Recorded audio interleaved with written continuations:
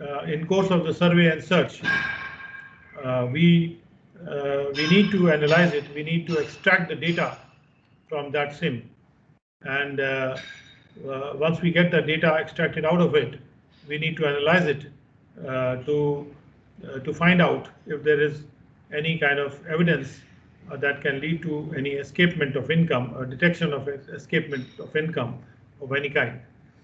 So SIM forensics is one of the uh, field of forensics. As you have already studied network forensics, hard drive forensics, and SIM forensics is also part of mobile forensics. And therefore, it is an important uh, field, important area in digital forensic investigation. So welcoming wholeheartedly Mr. Hiran Bose uh, from CDAC, Scientist E, from to this institute and uh, to this uh, webinar. Thank you, sir. I Thank you so much for your nice introduction. Sir. Very glad to have you with us, uh, Mr. Bose. And we are spotlighting you so that we can hear you clearly and we can attend to, to, to this lecture. So thank you so much and please go ahead. It's all yours. Yeah. Thank you so much, sir, uh, for a nice introduction. Uh, I hope I am audible to everyone. If anybody can uh, just yes, confirm. Audible, uh, a little louder, I suppose.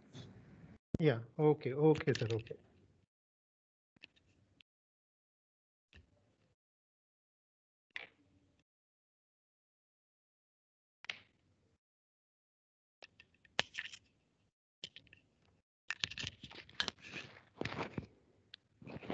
Yeah. Okay, so uh, good afternoon all. Uh, I would like to thank the organizer for inviting me for this particular talk. So today, uh, as the uh, the presenter has already told, uh, we are going to have a discussion on uh, a topic that is called as the mobile forensics. Okay, I hope you are able to see my screen. So, and also I would like to request the participants in case of any queries or doubts, uh, please uh, interrupt me in between uh, and uh, you, you, you can ask the queries. Uh, is my screen visible, sir? I'm just sharing a notepad uh, with a heading mobile forensics. Can anybody respond? Yes, it is visible. Okay, okay, sir. So uh, I'm also just uh, I have also logged in into my mobile also so that I can just see uh, like what I'm actually taking. but but I think there is some delays there. Okay. I'm well, not sure whether. on our side, I think we are getting you quite fine. So okay. It is it is perfectly all right. We are seeing a screen, notepad screen. Okay. And now okay. we are seeing yeah. the SIM forensics. Yeah. Okay. Okay. Great. Okay. Okay. So let's begin with this uh, today's afternoon session that is called the mobile forensics. Okay, but as you know that if you look at a mobile, okay, now many of you may be going for any uh, many um, uh, raids and all. So at the in that raids, what you get is you get lot of digital evidences. Okay, so uh, like since uh, yesterday we are talking about lot of uh, uh, digital evidences. Okay, now in every case nowadays you can see that we are getting a lot of digital evidence is there. And now uh, we are having one of the most important critical digital evidence nowadays uh, which uh, the law enforcement agencies are getting is the mobile forensics. Okay. Now when we come to so today's discussion we are going to have the mobile forensics. I will demonstrate some tools also uh, how to uh, do, uh, do do this kind of forensic activity and all. So before moving on to the mobile forensics i just want to I hope you remember the different steps uh, of digital forensics, but out of that different steps, I will just only take two steps. One is called the imaging step and another is called the analysis step. I hope these two things are clear to you. Like we have talked about the uh, the disk forensics, we have talked about the the uh, the network forensics and all in all these kind of forensic activity the two most important steps is the first one is called the imaging step and the second one is called the analysis step. Say if we uh, if we just recollect, uh, if we are going to image, what is in the imaging? Now suppose if you are going to have a hard disk is there, okay, or you may be getting a memory card is there, okay, or you may be getting a USB pen drive is there, okay. These are all storage devices which is going to be there. So what is the first step which we are going to take is we have to take the image of these digital evidences Okay, I'm just giving an example. Say you take a, a digital camera. It is also can be considered as a digital uh, evidence. Uh, you take uh, a small uh, an electronic pen which is there. It is also treated as a digital evidence. You take a camera which is now connected to the dashboard of the vehicle. That is also treated as a digital evidence. So how do we actually start the collection process? So the first step before that itself there are a lot of steps are there. But uh, to me i will say that these are the two important steps when we are going to collect the data from the digital evidence. The first step is called the imaging process. So what we are going to do is we are going to take the a, take a forensically sound image a forensically sound copy of the digital evidence which we have taken okay? I'm going to take a forensic copy of the digital evidence uh, which I have uh, which I have seized it from the okay uh, which I have taken it from the uh, from the crime scene. So after once that is done, then what we have to do is we are going for the analysis phase. Okay, so we are going to search for the evidence, search for the search for the evidence. So this is the two important steps which is actually going to be there. So in the first step, I, I will write it like a take a copy, copy of the evidence. I'm going to get the, get a copy of that particular evidence. So whatever forensic activity which we are going to do, these are the two the basic steps which we are actually going to follow. First is the imaging part and then is the second one is the analysis part. Now coming to the mobile forensics, before we go to the uh, slides and all, I just want to uh, brief you uh, what all things are, what are the various digital evidence which is available inside this mobile device. The first one is the mobile device itself. Okay, the mobile device, the mobile device itself. Okay, so inside the mobile device, what we have is we may be having some internal memory will be there. Similarly, uh, okay, I will just write it down below this. So uh, we are going to have the internal memory is there inside the device. Say most of you may be seeing that you are going to have 60, 64 GB uh, RAM is internal memory is there or 128 GB RAM is there. So that varies depending depending upon the make uh, and the vendor. It is the size of the internal memory is actually going to vary. Similarly, inside the mobile device, I can put some kind of SD cards and external memory can be uh, connected to the mobile device. So if you take a mobile device, these are the two things which is actually very important.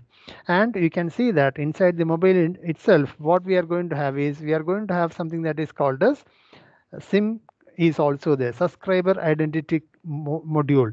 The SIM card is also a part of the mobile device. So these are the nowadays again, uh, like the advanced phones is going to have something that is called as eSIM so where you cannot the, the, it's called the electronic sim where we don't have that physical sim is not available to me. Instead the sim is already embedded inside the mobile device. So the latest mobile phones the latest apple iphones and all they are talking about something a concept that is called the esim concept. So these are the three things which we have inside the mobile device. Now the second part is we are going to have lot of data is going to be there inside the network operator. Okay? So i hope uh, uh, like today you had a session on the call data records. So similar to call data record there are uh, like there are tdr is there the tower data records. So there are a lot of records uh, are available with the network operator. So today in our discussion what we are going to do is we'll be looking at how we are going to do the mobile forensics in the internal memory or basically how to do mobile forensics in the mobile device. And then we will also look at a portion that is called the sim forensics. How to take the data from this particular sim. Okay? So please remember in both these cases there are two fundamental uh, uh, the concept which we are going to follow is nothing but the imaging. You take a mobile device what will be the first step? You have to take the image of the mobile phone you take the SIM card. What is the first step? You have to take the image of the SIM card. Only after taking, uh, only after taking forensically, you are going to take that image. Then only you, what you are going to do, you are going for the analysis part. So please remember in mobile forensics, we have to take the first step is we have to take the image of the mobile phone. Uh, and also in the second step, we are going to do the analysis of the mobile phone. So these are the two fundamental steps which we are going to see in our session today. So let's talk about the tools. There are a lot of tools are actually available. Uh, the tool which I'm trying to check uh, is we are going to demonstrate is called as MobileCheck version 4.1. Okay, uh, this is a tool from CDAC uh, Trivandrum. So the, by using this particular tool, as I already told you, what I can do, I can take the image of the phone as well as I can do the analysis of this particular uh, of that particular image which I have taken. So please remember like almost all the tools, whatever tools we are talking about, uh, is going to talk about these two fundamental concepts only. Now there are a lot of other tools are also there. One such tool is from the organization from the company that is called as uh, Cellebrite. Uh, similarly, there are uh, uh, say Dr.Fone is another tool which we can use for doing the mobile forensics. similarly, mobile edit forensics, mobile edit forensic this is another tool which we can actually use for doing the mobile forensics. So similarly as you as you keep on searching you can see there are a lot of tools are available for doing the mobile forensics and all. So what is these things? These are the tools which we can use uh, for the doing the mobile forensics. So i'll be demonstrating a tool that is called the MobileCheck uh, that is being developed by CDAC. So we will see, we, I will show you how to take the image of the phone and then we will be looking at how to do the analysis part also. Okay. So this is the agenda for uh, today's session. Okay. So let's uh, move to the slides and see uh, the slides one by one. So the first step uh, i hope this is clear to everyone. If you have any doubts please let me know that. I hope this is clear. Okay. So the first uh, portion of the mobile forensics we are going to talk about the sim Okay, so for the SIM part, you can see that uh, uh, we uh, we are going to look at the SIM forensics. So let's look at this, uh, look at what are the details of this particular SIM forensics and all. So before moving into the uh, uh, to that respective topic, let me show you how a cellular network is going to look like. Okay, we are all using our mobile phones. We are talking to our family, to our friends and all. So how this particular entire cellular network is actually going to work. Okay. So in this, I'm having I'm just showing a pictorial representation representation of how the mobile device is actually going to work. So what we have ME is called the mobile equipment. This mobile equipment, you can see that if I want to connect to any cellular network, I can connect only if I am having a SIM card. Only if you are going to have a valid legal SIM card, then only I can I'll be able to connect the mobile equipment to the cellular network. So if you look at the diagram, there are two major blocks are there in the cellular network. One is called the base station subsystem and another is called the network subsystem. And uh, inside the base station subsystem, there are some blocks are there.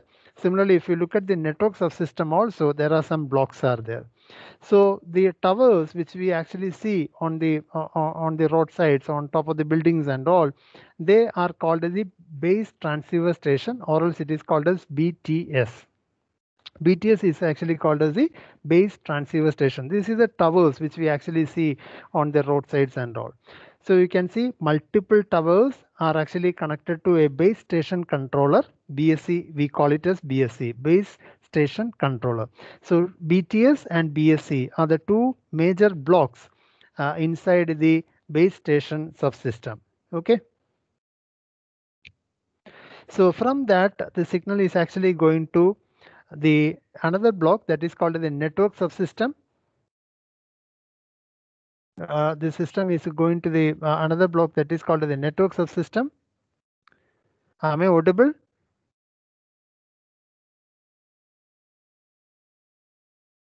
Hello. Yes, you are yeah, audible, oh, sir. Yeah, okay, thank you, thank you. Okay. Uh, so uh, the, the, the multiple base station controllers, what is going to happen is we are going to uh, move it. We are going to uh, we are going to give the signal back to the uh, another next block that is called the network subsystem okay where you can see there are some blocks are there. The msc it stands for the mobile um, switching center mobile services switching center. And inside that you can see there are some blocks are there HLR. HLR stands for Home Location Register. So what is the purpose of Home Location Register? You can see that the moment you are actually going to uh, is actually going to stay for under one tower for more than 24 hours. What will happen is your details is going to get recorded onto a register that is called as Home Location Register. Similarly, when you are actually traveling, your details are going to get copied onto the another register that is called as visitor location register. So these two blocks is actually going to contain the details of that particular subscriber. And this information is going to get copied onto the network operator.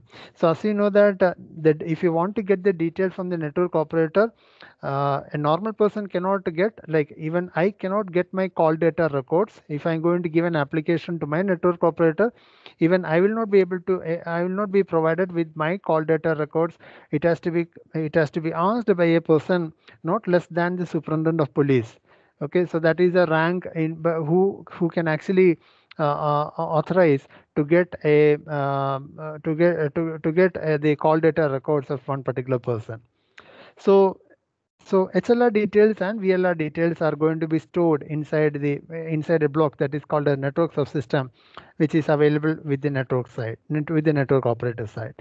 Similarly, we are also going to have another block that is called as equipment identity register, EIR, equipment identity register uh, where the identity of each and every mobile is actually going to be uh, stored inside that. So you can see uh, it is going to like everybody knows that uh, the mobile equipment is going to have is going to have a unique number that is called as the IMEI number. Okay, International Mobile uh, Equipment Identity is there. So nowadays we have uh, mobile phones with two SIM cards and all or three SIM cards. So you can see that each slot is going to have a unique IMEI number. Now, suppose if you are going to use that uh, shortcut key star hash 06 hash, you can see that you get the IMEI number. So if you're having, if you're using a dual uh, SIM uh, mobile card, mobile phone, you will be getting two IMEI numbers. You will be getting one each one for the uh, for the individual uh, SIM slot which is used inside the phone. Similarly, the, we are going to have that authentication center. Okay, now, what is the purpose of the SIM card? The purpose of the SIM card is to provide authentication and security. So please remember that. These please remember these two terms, authentication and security. So who is actually going to provide the authentication and security? So this block, that AUC block is going to provide the authentication and security of this particular SIM card. So inside the SIM, please don't think that it, is a small piece of uh, uh, say a small piece of uh, a, a, card which is there but the, inside the sim card there are a lot of information is going to be stored inside the sim card. So the entire connection process is actually going to depend upon the sim card. So so that is the purpose. So please remember that authentication center auc uh, it is going to provide the authentication as well as it is going to provide the security mechanisms. And on the other side also please see that there is the, uh, the exact thing the reverse uh, the, these these components are going to be stored in exactly in the reverse order. So that means on the, this side we are going to have a network subsystem and after that you have a base station subsystem and then you are going to have that mobile equipment. So that is how a connection is going to established. So when I'm going to switch on the phone, what happens is it you can see that when I'm going to switch on the phone, it takes some two to three seconds before you get that uh, that the the the, the tower uh, signal in your mobile phone. So what is going to happen during these two to three seconds? So there is some kind of handshaking is going to take place in between this uh, in, in, during that two to three seconds. So what is the handshaking process? There is some kind of data is going to get transferred from your mobile equipment to the tower and from the tower to the mobile switching center inside which there is a block called as authentication center is there. So inside that we are going to use there there is some calculations and all some random numbers are going to be generated.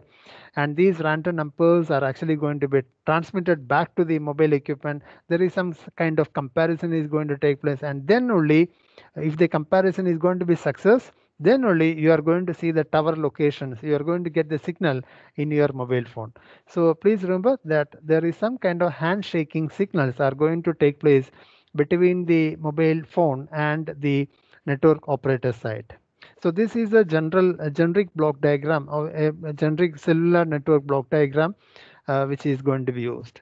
Uh, see and if, nowadays people are talking about 4g and 5g is coming up by maybe by the end of 2021 in some of the few indian cities also they will be uh, starting that 5g service. But please remember that in 5g service the entire diagram is going to get modified. They are going to have an entirely new set of uh, infrastructure in the case of a 5g network now coming to the subscriber identity module so you can see that uh, uh, it's this SIM card, even though I told you that it is a very small piece of uh, uh, a card, you can see that it is going to be called as a small computer. Okay, it's called as a small computer. So you know that in every computer, what all what all things is going to be there. We have a central processing unit, CPU is there, memory is there, and there are some kind of uh, say I/O interface is also going to be there. So, and also please remember that there in the SIM card, there are three different voltages are going to be supported 5 volt, 3 volt and 1.8 volt. And as you know that there are different capacities are going to be there in the SIM card. Uh, it has got both uh, volatile and non-volatile memory and mostly most important thing is it is going to contain a file system okay it is going to contain what it is going to contain a file system so please remember with the help of I can hold files or I can store the data only if you're going to have a file system uh, with you. Without a file system, you are unable to store any kind of data. Say you are you are creating multiple say documents. You are creating you are creating a lot of presentations. You are create uh, you are having so many PDF files in there is there in your systems. So all these files are you are able to store inside the computer or laptop with the help of a file system. Without a file system, you cannot store anything at all. So there are different type of file system. I think you are already aware of that FAT32 file system, NTFS file system.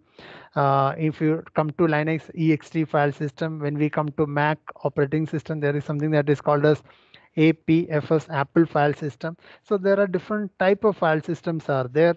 So SIM card also is going to have a file system, very small a hierarchical based file system is going to be there. So this is how the uh, pin diagram of the SIM is going to look like. Okay. So I think all of you are familiar with the pin uh, with the structure of that particular pin. There are some some pins are there and each pin is going to have some uh, specific roles, duties and roles are going to be there. So I talked about the file system. So this is how a file system is going to look like. In the coming slides, I will show you what all things I can have it inside the SIM card. So please remember that. And also one thing which I just want to point out in this slide is uh, there are different uh, um, uh, uses are there for the SIM card. Don't think that SIM is only used for the cellular network or for mobile communication. SIM is having a lot of other uses is also there. SIM is used in medical field. SIM is used in the e-commerce field. There are a lot of applications are there for the SIM card. But in our case, I'm just discussing the SIM card for cellular network. So you can see that there are different standards are there. So we are having the uh, the master file mf stand for master file under which we are having the dedicated file df stand for dedicated file. We are having the standard called as gsm under which we are going to have a lot of elementary files. So inside the sim card i told you that i can store the contacts. Inside the sim card i can store some sms messages. So these contacts are sms messages and lot of other files are available. All these files are going to be stored inside the elementary file EF. EF stand for elementary file. So you can see here this this is a hierarchy which is going to be there inside the SIM card. This is a hierarchical file system which is going to be there inside the SIM card. So the master file, then we have the dedicated file and then we have the elementary file is going to be there. Now I told already I told you that SIM is not a small, uh, even though the size of the device is very small, you can see that there are lots of information is going to be stored inside the SIM card. Okay, there are lots of information is going to be there. So I will just explain some of the important uh, uh, data that is going to be stored inside the SIM card, we are having one, one number that is called as integrated circuit card identifier. Similarly, IMSI number, International Mobile Subscriber Identity. So these two parameters are going to be stored inside the SIM card. Uh, similarly, we have the mobile country code. Uh, in the case of uh, in in case of uh, uh, India, you can see that the mobile country code is uh, 404 and 405. Okay, so what is it? This is the mobile country code, MCC code, mobile country code. This is the mobile country code for India. Like as I, I as you know that for India that uh, the PSTN number is 91. Similarly, for mobile communication, they are going to identify the our country with the help of a number that is called as mobile country code MCC number. There are two numbers are allocated for India that is 404 and 405. Similarly, we are going to have another uh, number that is called as the MNC number okay MNC number which is called as the mobile network code so what is that MNC number? For each operator we are going to allocate an MNC number. Say for example for Airtel Kerala we are having an MNC number. For Airtel Tamil Nadu we are going to have an MNC number. Say for Airtel Haryana we are going to have another MNC number.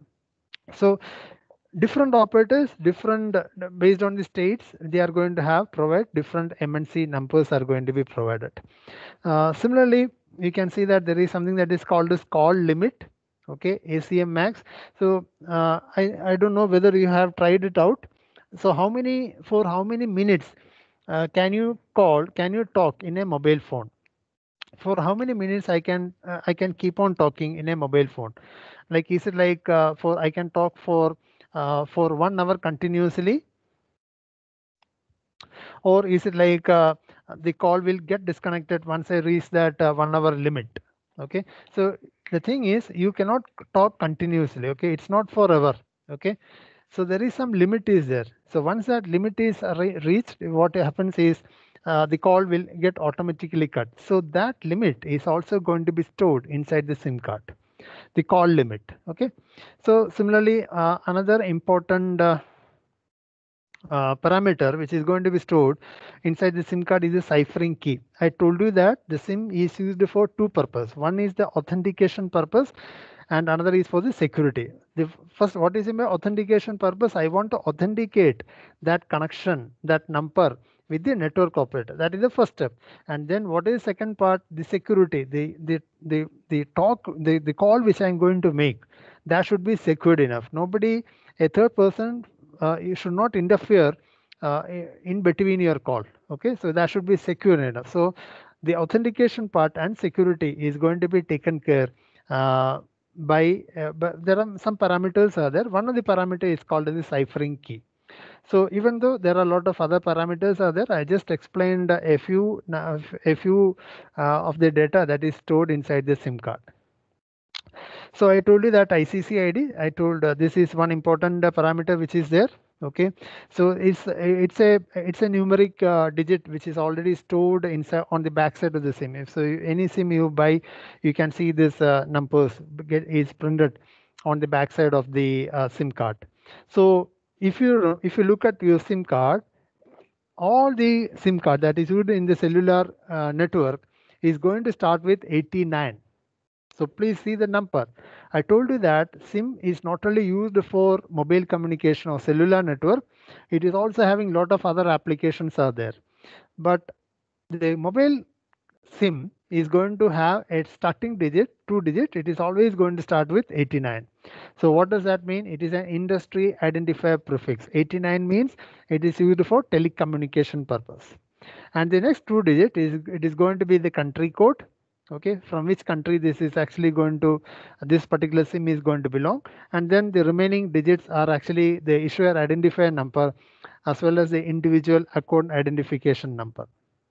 So so some so some culprits what they do is they just scratch off this particular uh, printed digit printed numbers from the backside of the sim so even if they are going to scratch it off uh, this number is already embedded inside the SIM. So I can actually uh, recollect these data uh, from, from inside that particular SIM itself. So this is another uh, thing which is there inside that International Mobile Equipment Number IMEI. So this is a um, unique number that is uh, stored inside every mobile that is uh, getting manufactured nowadays. Earlier we used to have some Chinese phones which doesn't have these IMEI numbers and they were connected to our networks also. But now the the regulatory commission they try uh, the authority of uh, the the mobile communication they try uh, has now uh, explicitly told that you cannot have you cannot connect a sim card to the network with if it is not having any IMEI number. So nowadays the rules are very strict. Okay. So how do I get the IMEI number? Star hash 06 hash. Okay. So this is a shortcut uh, key for getting the for getting that IMEI number of that particular SIM card. So as I already told you, many in in many of the slides, uh, the purpose of the SIM card it is used for authentication as well as it is used for security purpose. Okay. So please remember this particular uh, two things which we are going to have. So I'm just skipping some of the slides. Uh, I don't think that is required. So on the slides, I told you that there are some uh, the, the two the two major things is authentication and security. So how do we actually achieve it? There are some algorithms are there. These algorithms are embedded inside the SIM card. Okay. What is the name of the algorithm? That is called as A3 algorithm and A8 algorithm. So please just uh, try to remember the name of these particular algorithms A3 and A8 that is used for authentication. Now similarly, for data transfer, I'm going to make use of another algor- algorithm that is called as A5 algorithm. Okay. So basically, the SIM is going to contain some authentic uh, some algorithms. They are called as A3, A5, and A8. A3 and A8 is used for uh, um, for authentication, and A5 it is actually used for SIM card. So these are the three algorithms which is going to be there inside the SIM card. Okay, as well as please remember that these three algorithms are also available with the network operator side also. Okay, so with the help of these algorithms, only these authentication and security is going to be uh, is we are going to achieve the uh, the uh, security as well as the authentication part. Okay. So just note down these algorithms. So you can just later refer to Google for if you are interested in technically, if you are interested, you can just refer Google and you can get more details regarding this A3 and A8. Nowadays, you see a lot of crimes are taking place uh, with the manipulation of the SIM. And one such is called the SIM cloning okay? And also please remember that uh, if you want to do some kind uh, any crime of related to the same uh, there is some kind of social engineering attack is also there. I hope uh, if you're new to this term that is called a social engineering attack like they uh, the hackers what they do is they just try to manipulate the the mindset of the normal human being okay? So they just talk they just make they maybe say for example they make a call uh, to the to a person saying that i'm calling from airtel. Okay? Uh, we are going to get an offer for you. Okay? So with this re re related to this i'm actually going to send an otp number to you. So once you receive that otp number sir please switch off the mobile phone for say 10 minutes. Okay so what this particular person like how uh, the, like the, the the the opposite side will be talking in such uh, like in honey terms like the the the actual user is going to get confused. Whether i am getting a call from the actual uh, uh, uh, the network operator itself. So the what this fellow if it is if he if he is not that much familiar with the with the cyber crimes and all. So what this fellow is actually going to do is he will just uh, uh, he will agree to that person and he will do whatever things whatever things he is saying he will agree to it. So in between what happens is within these 10 minutes they are going to get a new sim card. And by using this sim card they are going to take uh, the, the, by by that time uh, please see that before getting this particular before calling making a call itself uh, these hackers will be having all the data that is related to that particular victim in victim so they may be having their bank account they may be having their uh, password. So all these things are going to be collected by the hackers and then only at the final step only they are going to do some kind of social engineering and they want that person to switch off the mobile phone phone for at least 10 minutes. So within these 10 minutes, what they are going to do is they are going to get a new SIM card and they are going to install all these applications. They are going to draw, withdraw all the money. They are going to do all harm for that particular victim. So in that, so this is just an example, like the the way the hackers are doing it nowadays are very are very are very challenging. Even the law enforcement people are really finding it difficult to cope with this new kind of uh, technology which the hackers are actually going to do. So these are some of the websites which you can refer, uh, which will be used for uh, uh, for SIM cloning and all. Okay, so you can just uh, uh, once the session is over, you can just browse these websites. Now let's come to the tool part.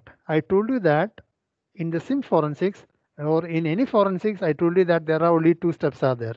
What are the two steps? The first step is we are going to take the image of the SIM and the second step we are going to do the analysis part. Okay, so we are talking about SIM. So in the SIM also we are going to do the same process. We are first we are going to take the image of the SIM.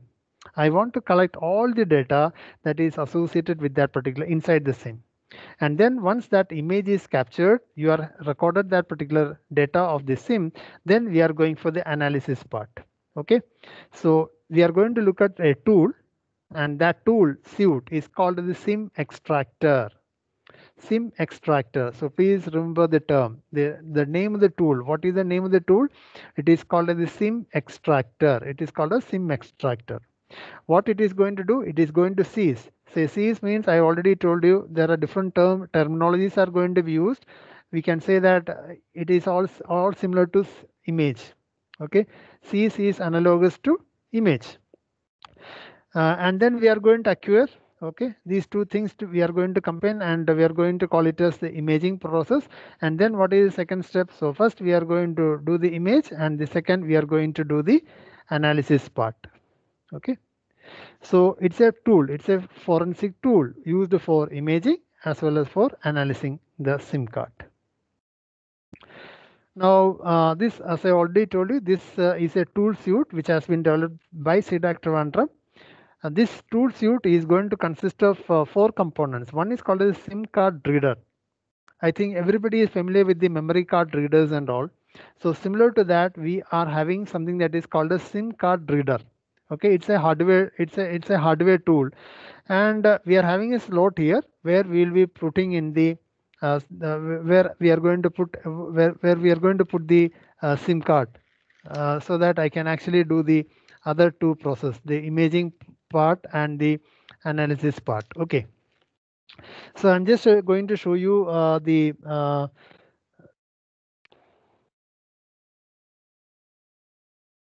I'm just going to show this uh, the, this particular hardware tool. I hope uh, uh, you can actually visualize it. Okay, so you can see it. This is the hardware which is going to be there. Okay, uh, it's a it's a it's just looking like a memory card reader where we are going to plug in that SIM card. Okay, so for taking the image, this particular hardware tool is required. Okay, so with the help of the SIM card reader, you are going to take the image of the SIM so for taking the image, we are going to use a tool. And for the analysis part also, we are going to use another different tool. And there is one upgrade facility is also there for upgrading the firmware that is available inside the SIM card. Now, um, so just to recollect, I, let me show you, uh, let me tell you that in the SIM, what we are going to use, we are going to use something that is called a SIM imager. It's the name of the tool. What is the purpose of the SIM imager? You are going to take the image of the SIM and then once you have that uh, image, then what I am going to do is you are going to do the analysis. Analysis. For that, we are going to have a tool that is called a SIM analyzer. So associated with, and please see that we require a hardware also, and that is called as the SIM extractor. So with the SIM extractor, SIM imager, and SIM analyzer, I can do SIM forensics. You are going to do SIM forensics. So let's look at this first tool that is called as SIM imager. So I please see that for all participants, I have already connected a SIM extractor in my laptop. Okay, uh, that hardware piece is already plugged into my uh, laptop USB device. So I'm going to run the software that is called the SIM imager. Okay, so here you can see that you're going to have two tools. One is the SIM imager and another is called the SIM analyzer. This is used for analysis. This is used for taking the image. Now I will, let's look at the first tool that is called the SIM imager. So I hope uh, uh, like you have been um, uh, the we have already covered that cyber check suit and all. Okay, so just similar to that, we are using a tool that is called as the SIM imager. So I'm just opening that particular SIM imager tool. So I told you that what is the purpose of the SIM imager? I already told you it is used for taking the image, taking the image of the SIM card. So as usual, we can see that there, is, there we have to uh, fill up fill up some details like related regarding the uh, the the investigation details and all. Okay, so I'm going to uh, provide some name. Okay. Crime number, I'm going to provide 123, seized memo number, place of seizure, I'm going to say Technopark. The name of the suspect I can give. Address 1, address 2 of the suspect, name of the witness,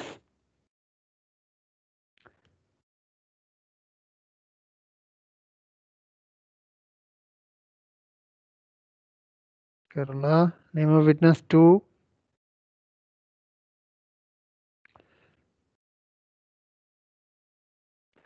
the notes related to the case, the lab reference number i'm just giving it one say let's give it as one two three again. And then this is another important thing that is the evidence file name. Okay. So i'm going to say uh, technopark underscore theft okay this is the name of the file which is going to be created so please see that i'm we are talking about the sim imager and we are in step number one out of five so what we are going to do, what we are going to provide in this step number one, we are going to give all the investigation details. Okay. And also please look at the file name. Why? Because this is the file which we are going to create.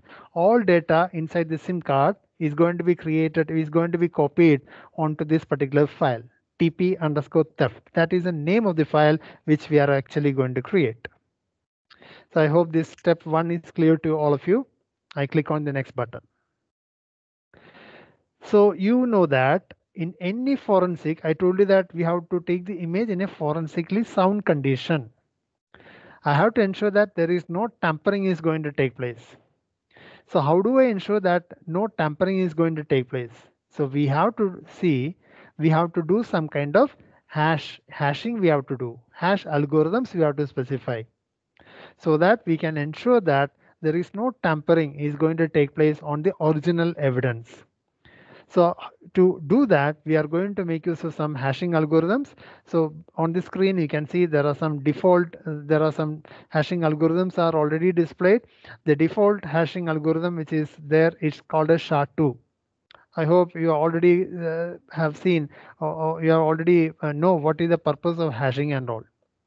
So I'm just going to uh, copy that particular. You can take the destination path also here you can see that uh, I'm going to uh, I'm going to uh, store my the file which I'm going to take the image onto this particular directory in my laptop itself e colon Anna. So I'm just going to uh, go to E. I'm going to specify this folder. I'm going to select that folder so that imaging image file which is going to be created is going to be copied onto this particular directory and I click on next and also please see that I'm I'm in step two of four of the sim imager software. I'm in step two of four, two of five. So I'm where I have selected the hash algorithms. I click on next. So you can see it is going to show me all the inputs, okay, uh, which I have actually typed in the investigator name, rank, police station, crime number, uh, the notes, okay, the evidence file name, and also where this particular file is going to be selected Okay, so you can see the hash type which I have selected is SHA2 and this is the file which is going to be created. So you can see here in my E partition in the investigator name, the file number, this is the file and also please see that file extension, it is called as SXIF. Okay, the file name is .sxif. This is the name of the file which is going to be created, SXIF. So I, if everything is correct, then what I can do is I agree to it and you can see I'm in step three of five in the same sim imager software. And the moment you click on this start imaging button, can you see here a button? I'm going to say that I'm going to say I'm going to use start imaging button, start imaging. Okay, start imaging, start imaging. So the moment you are going to click on this particular button, what happens? The imaging process is going to take place. So whatever data is there, whatever file system is there inside the SIM card, it will be copied onto this file so that later we can actually start doing the analysis process. So here you can see that it is taking some time. So you are in step four of five. Uh, so you can see that if you are able to successfully take the image, you can see that imaging of SIM card is completed successfully. Click next to proceed. Okay, so you have completed step five, four of five. I am going to click on next. So where I will be reaching in step four of five of five. Here you can see that I am having different options are there. I can open the image folder in which that image has been created or I can print the report which I have generated during the imaging process or I can view the report or I can image another sim. Say I'm uh, this particular imaging is not proper. So I just want to take uh, one more time I just want to repeat it one more time. So in that case I can do image another sim or else I can open this analyze image image button which is going to open the sim analyzer software. Okay? When when i'm going to click on this particular uh, button what happens? It is going to open the sim analyzer software. Okay? It is not mandatory that you have to click here in other ways also you can go to uh, you can just open it separately also no problem. So i just want to uh, i just i'm not using any of this particular button. I just i will just show you how to view the report. Okay so can you see the report? This is the report which is going to be create generated uh, for that imaging. So can you see that hashing the hash value? And this is the hash uh, the uh, the the the hash value of that of this particular image and also can you see the ICC ID number which is uh, printed on backside and also can you see the different file IDs the master file and also can you see the different files file name. Say SMS, it's a file. I already told you that. SMS is a file and this is a corresponding hash value of that particular file. Similarly, if you can come down, you can see there are n, n number of files are there, which is going to be stored inside the SIM card. I already told you that even though it is a small um, card, you can see there are a lot of device, lot of information is actually going to be stored inside that particular small piece of uh, in, a small piece of uh, uh, SIM card. So this is a sample report which is going to be generated. Okay, you can see the date and time in which this imaging has been processed. So all these things are actually going to be done, uh, taken in this particular SIM card. So I'm just going to open uh, click on open. You can see that that uh, the file will be opened for you. Okay? So you can see here this is the image file which has been created. Tp underscore theft.sxif is the name of the file which has been created. Now let me take this second software that is called as sim analyzer. So this completes the first process called as sim imager. I hope this is clear to you. So we have completed we have taken the image of the sim card now what is the next step? I have to do the analysis part. I have to do the analysis part. So you can see here, I have, I have taken the image by using the sim imager. Now what is the second what is the second phase? I'm going for analysis. So what is the name of the software? Sim Analyzer is the name of the software which I'm going to use for doing the analysis part. Okay. So let me uh, take the Sim Analyzer software. Sim Analyzer.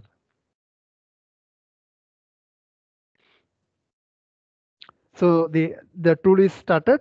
So here you can see that I, I have one button which is saying that load the evidence. So I will click here and I have to go, you have to go to the location where your information is going to be stored. So my information is stored inside e partition. I have a file that is called as tp underscore theft.sxif. This is the name of the file which is going to be created. So I'm going to select that file and click on open. So once it is opened, you can see here, this is the SIM analyzer tool. I'm not doing any kind of uh, physical analysis. Everything is actually done automatically. So you have that information which I already filled up when during that the first step, step number one of imaging. This is uh, different hash values of the various files. This is the SIM info. You can see that ciphering key, IMSI number, ICCID number. All these numbers are actually embedded within the SIM card. You cannot actually read it. Otherwise, you cannot read it. But you have to do the imaging and then only you can actually read it. The service provider name. Can you see Airtel? Service type. It is GSM. I told you that SIM is not only used for cellular network, but also it is used for lot of other purpose also. Okay. Now we have the contact. So if any contacts is there, you can see that that contact details will be there. If any SMS message is stored inside that SIM card, you can you can see that it will be displayed. And also, please see that if I am going to delete that SMS from the like suppose assume that you are having an SMS stored in the SIM and I'm going to delete it. But do, take, during that imaging process, you will recover the deleted SMS also, provided it is not overwritten. Similarly, you get the call logs, the location, the report also we can view in this particular analysis tool. So the SIM which I have just now taken the image, it doesn't contain any information. So I'm just loading a sample image which I am having, which is containing some information. Okay. Let me take some sample image. I'm just taking another sample image. Okay, so you can see it is coming. So let's look at the contact. Can you see some contact details over here? So these are some of the contact details. You can see how many contact details is there. There are around 208 contact details are there here. Okay. And also like say if I want I can do some kind of searching also. Say 944733 and double four seven double three go so can you see here it is going to display that particular contact details here. Okay can you see here? And this is the evidence in which this particular contact is available. So you can search in that in, that particular manner also. If you want we can actually do that searching operation also. So this is a contact which is going to be specified. So in the sim you can see that this particular image was containing around 208 contacts.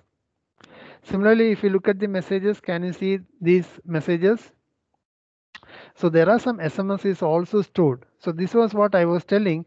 Now suppose if you can see, uh, can you see that is deleted? Is another option is there? So in this sim, in this particular image, these SMS are already deleted, but you are able to recover it. Why? Because nothing has overwritten that particular uh, that particular memory location. So you can see that I have actually uh, I was successfully able to recover these deleted message also. Similarly, you can look at the call logs. Okay, this image doesn't have any call logs and you can view the report also. You can print it out. Okay, directly you can, if a printer is connected, we can print this report also. So what is this software called? It is called a SIM analyzer where you are going to load that particular image which I have generated from the first software that is called as SIM Imager software. So please see that there are two softwares are included. One is called a SIM Imager and another is called the SIM Analyzer. I hope this is clear to you. So this is going with this we are going to complete that SIM forensics part. I hope uh, this is clear. If you if you have any questions, I, I can take that questions now, or else uh, we will move to the next topic called as mobile forensics.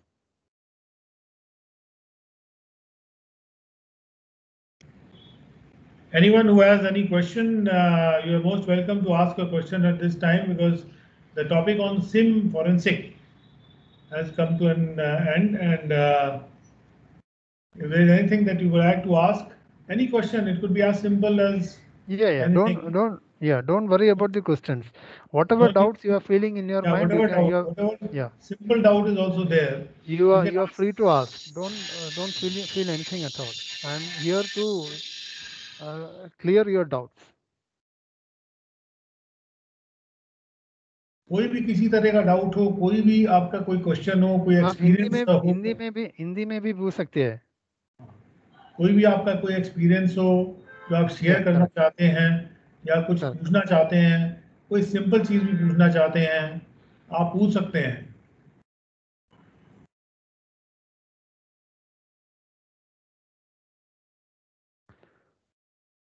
Okay, so Okay, we can move forward yeah, to the next we will topic. yeah because, we, we yeah uh, yes sir We'll collecting the questions and we'll send across to you. yeah sure sure sir sure sure thank you. So uh, our next topic is the mobile forensics. Okay. So in the mobile forensics, I told you that uh, even though there are three parts are there, we already covered that same part.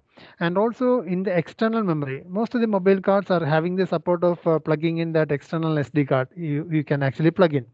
But uh, these external SD cards are normal storage devices. So what I can do is I can do the imaging part uh, by using a tool that is called as TrueBack. I think it's already covered and then we can analyze it, analyze analyze this particular thing by using something that is called as uh, cybercheck suit okay? So um, then it's just like a normal uh, storage device. So i can do it. With the help of uh, these two softwares i can actually do it okay? But coming to the internal memory it is pretty difficult. You cannot use a normal tool okay? Normal disk forensic tool we cannot use. So we have to use some specific tool which is used for for doing this mobile forensics. So the tool which I'm actually going to do is called as MobileCheck version 4.1. Okay, so this is the name of the tool. I told you that in almost all the forensics, what are the two important steps? Imaging part and the analysis part. So here I have connected a physical mobile. I have connected a physical mobile here. Okay. I have connected an STC uh, physical mobile itself. I'm just taking it. Uh, so the name of the software by which we can actually control your mobile. I'm just uh, showing you the home screen here. So uh, the name of the tool which I'm just using is is called the Vysor. Okay, uh. Okay, the name of the tool is called the Vysor. Okay. So I'm just uh, showing you the uh, the actual uh, physical mobile here. Okay, so you can see that I'm just switching off the mobile. It goes, it comes. So you can see that there is no pattern or there is no pin lock here. You can see that I will show you once again. So you can see that there is no pin locks. Okay, and this is how the phone is going to look like. Okay, there are some applications are already installed and all. So what I'm trying to do is I'm trying to take the image of this particular physical phone. So coming to that imaging part, uh, let, let me tell you.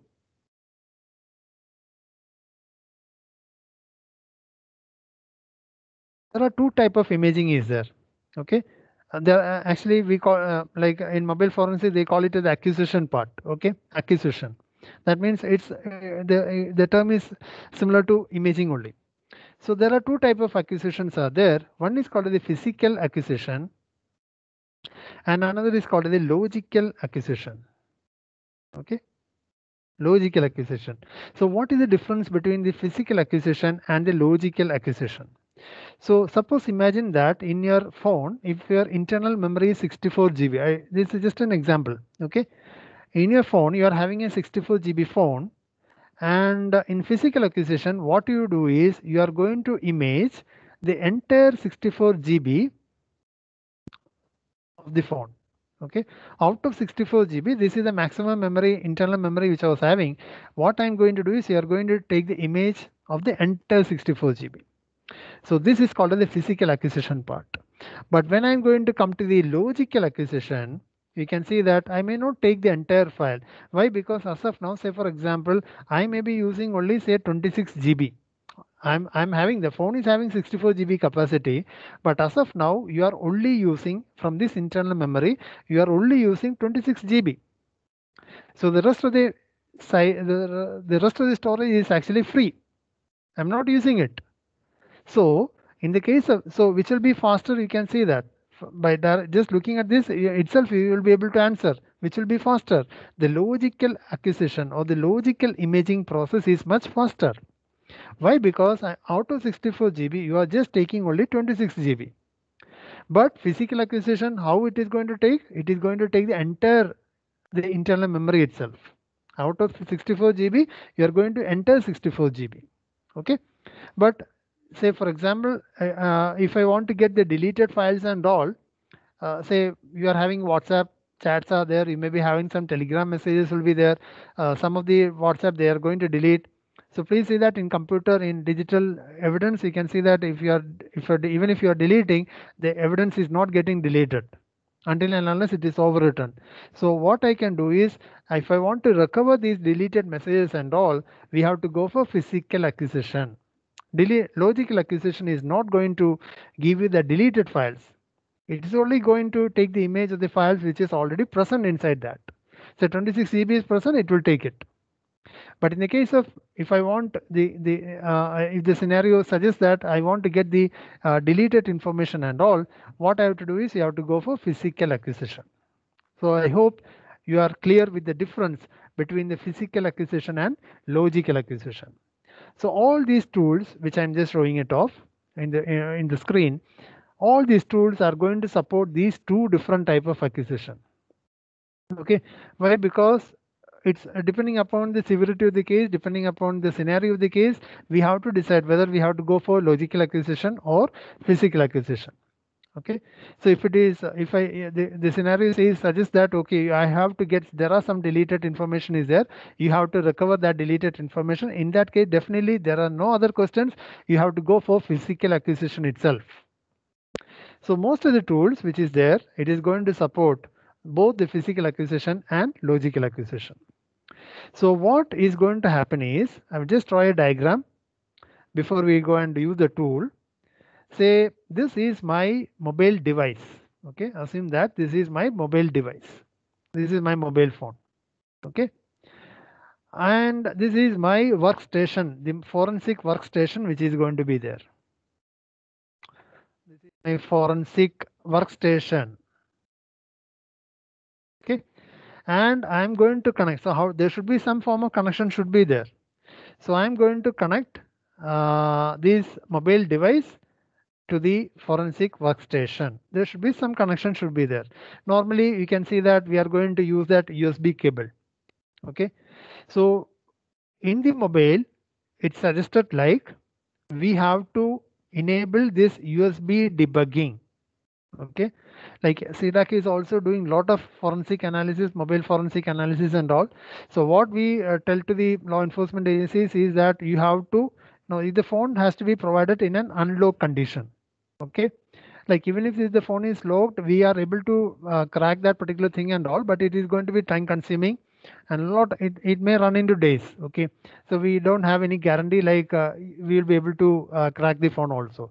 So most often we are going to suggest to the law enforcement agencies like you have to there should be no locks no password no pattern nothing should be there so what we are going to do is we have to enable the usb debugging there is one option in the mobile phone setting there is one option is there that is called as usb debugging okay so that should be switched on. That particular thing has to be switched on.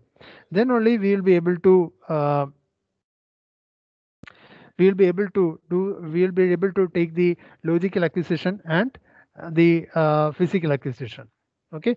So from where we are able to get the uh, USB debugging from the developer. There is an option is called that is called the developer. From there we will be able to get it. Okay. Now, once this is on, it has to be enabled. Okay, so I forgot USB has to be enabled. Okay.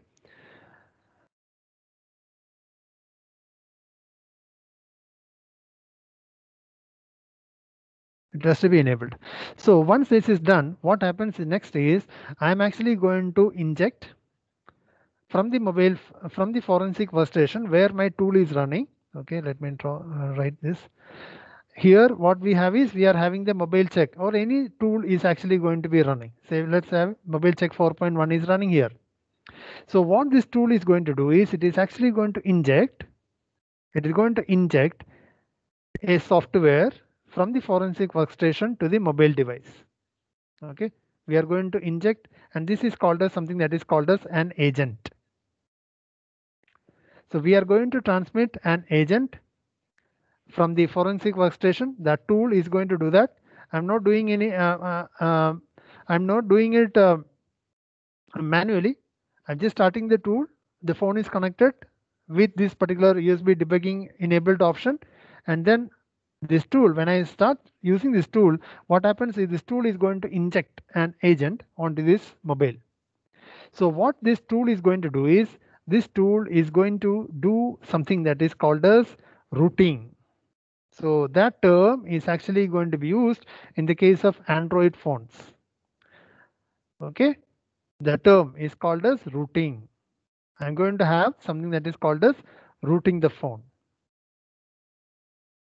Okay. So in the case of iPhone, iOS, the term is actually called as jailbreaking. Jailbreaking. Okay. These are the two terms. So what is in the rooting? So you know that a mobile phone, you eh, the, the user of the phone is just a normal user.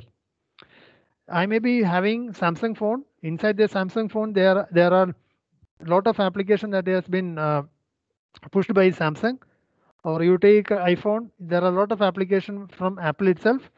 But you can see that you will not be able to. You don't have the rights to delete the Samsung software. So you, you don't have the rights to delete that software which is already uh, coming pre-built with that inside that phone. You don't have the rights. You are just a normal user. So what this agent is going to do is it is going to get elevated. Okay, you are going to get elevated from a normal user. So let me. So by default, you can see that I'm just a normal user. So what this agent is going to do is I'm going to get elevated to a super user. Okay, or we can say we are going to get elevated to an admin privileges. So that is the purpose of this particular agent software. Okay, that is the purpose of this particular agent software. So what this agent is going to do is that agent is going to elevate the normal user to a super user. So this process in the case of Android phone, this is it's called as the rooting process. And in the case of iOS phone, you can see that it is called as jailbreaking. That means you are as a normal user, you are just getting the elevator to a admin privilege. You have the complete rights. You can do anything you want inside that phone.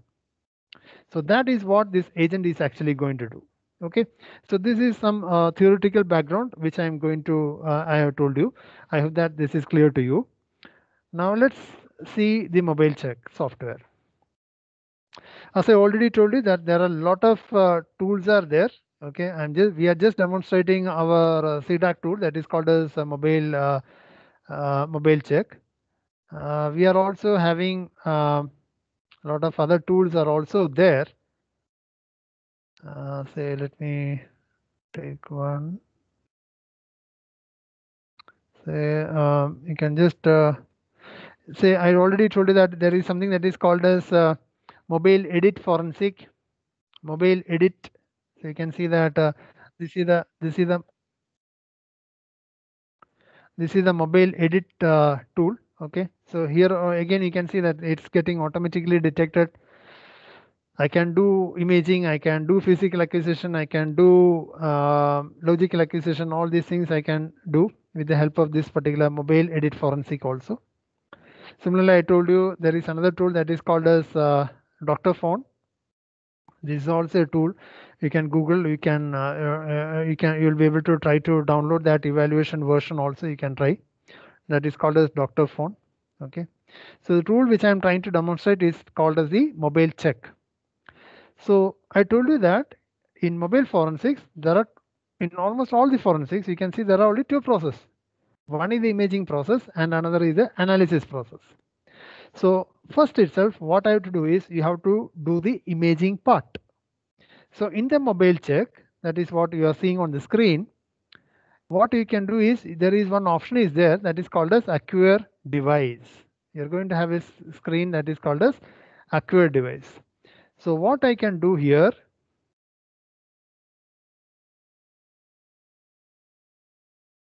So what I'm going to do here is click here.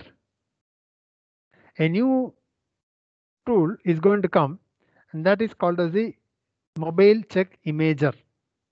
Okay. So what is the purpose of this imager? If you remember SIM imager, I have taken the image of the SIM. So what this tool is going to do is, but please see that it's it's a tool that is integrated in the MobileCheck itself. So what this tool is going to do is it is going to take the image of the mobile phone. It's going to take the image of the mobile phone. So I'm moving forward, click next. So can you see here, there are two options. There are many options are there, but you can see here uh, like uh, there is physical, logical, backup, MTP, GPS, memory card, bootloader. So many options are there. So what I'm trying to do is I'm just trying to use, I told you that there are basically what we do is we do we just create a physical uh, we go for a physical acquisition and logical acquisition i have already explained the difference between the physical acquisition and the logical acquisition so if i want to recover the deleted images it is always recommended to go for physical acquisition part 64 gb uh, this this was just an example which i told you earlier so i'm just going with uh, the logical now uh, so i'm going to select that logical click on logical so uh, you can see here, uh, I'm having different operating systems, mobile operating systems. You can see different mobile vendors. You can see actually normal, basically. Android is there, BlackBerry, Samsung Mobile, Windows, Sony Ericsson, Micromax, so Apple. Okay, these are the different uh, vendors which is there. I'm just selecting the Android. So you can see here what it is saying is, it is I told you that I explained what is the purpose of an agent and all. So this phone is already connected via the USB cable. And also I told you that we have to enable that USB debugging option also. So once that is completed, what happens is an agent, we are trying to inject an agent the tool, the MobileCheck imager tool is trying to inject an agent to the mobile device. And that agent, what that agent is going to do is it is going to elevate the normal user to an to a super user. Okay, so I told you that. So that process is actually now taking place. Can you see here? Now it is a little bit of time consuming, but uh, I hope uh, the, the, the, the, the, the, the subject is known to you. Okay, the, uh, I have explained it uh, uh, uh, just now. Okay, so please this, this injection process it is going to be a little bit time consuming so I hope you are able to understand that. This was the diagram which I have shown you here. I was having a forensic workstation which is uh, installed with MobileCheck. I have connected the mobile by using that USB cable, USB Delta cable.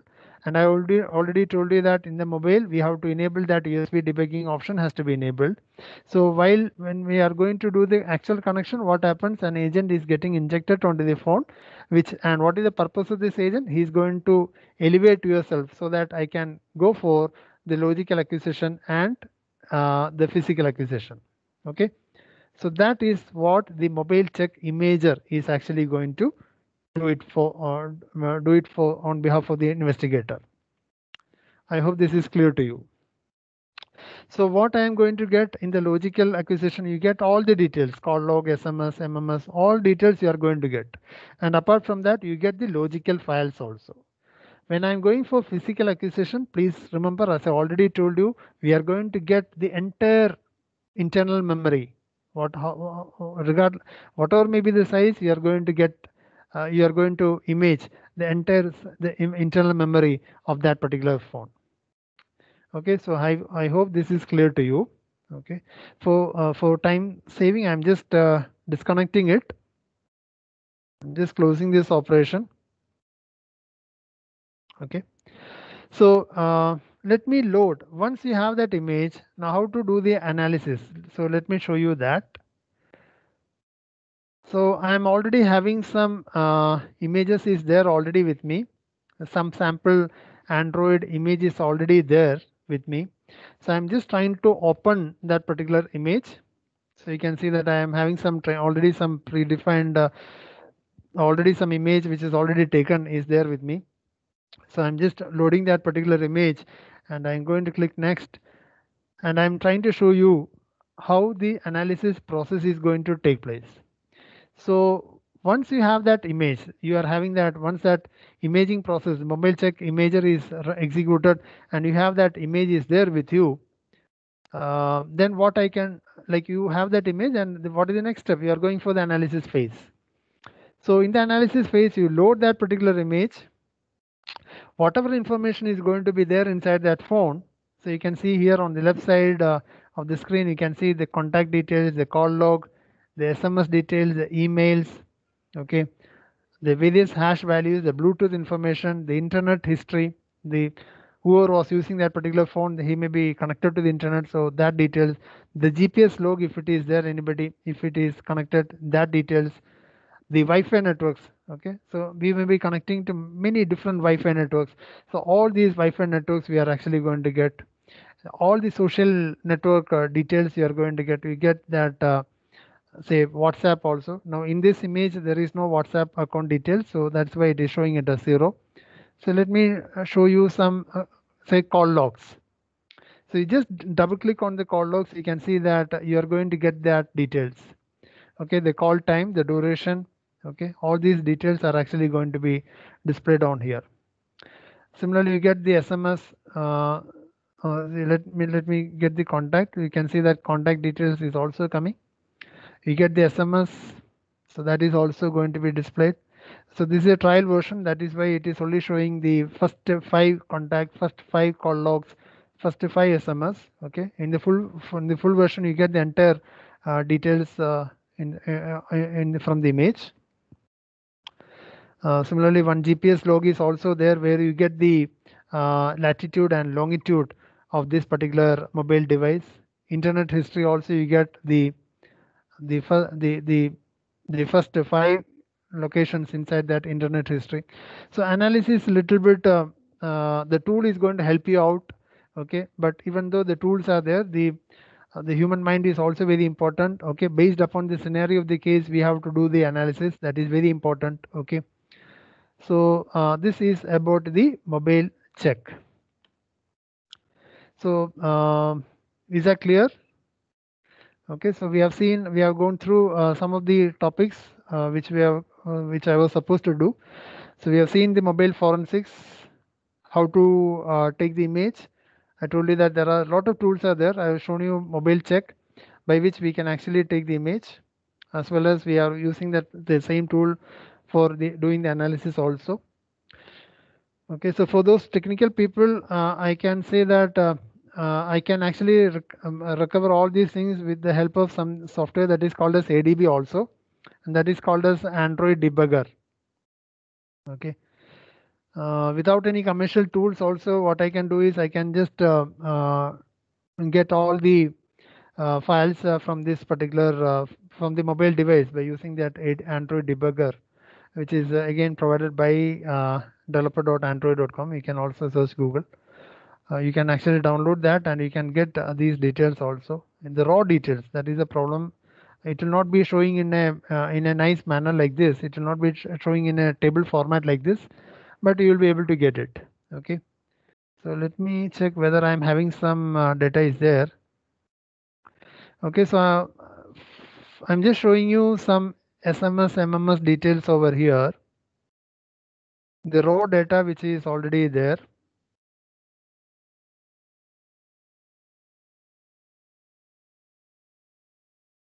Let me show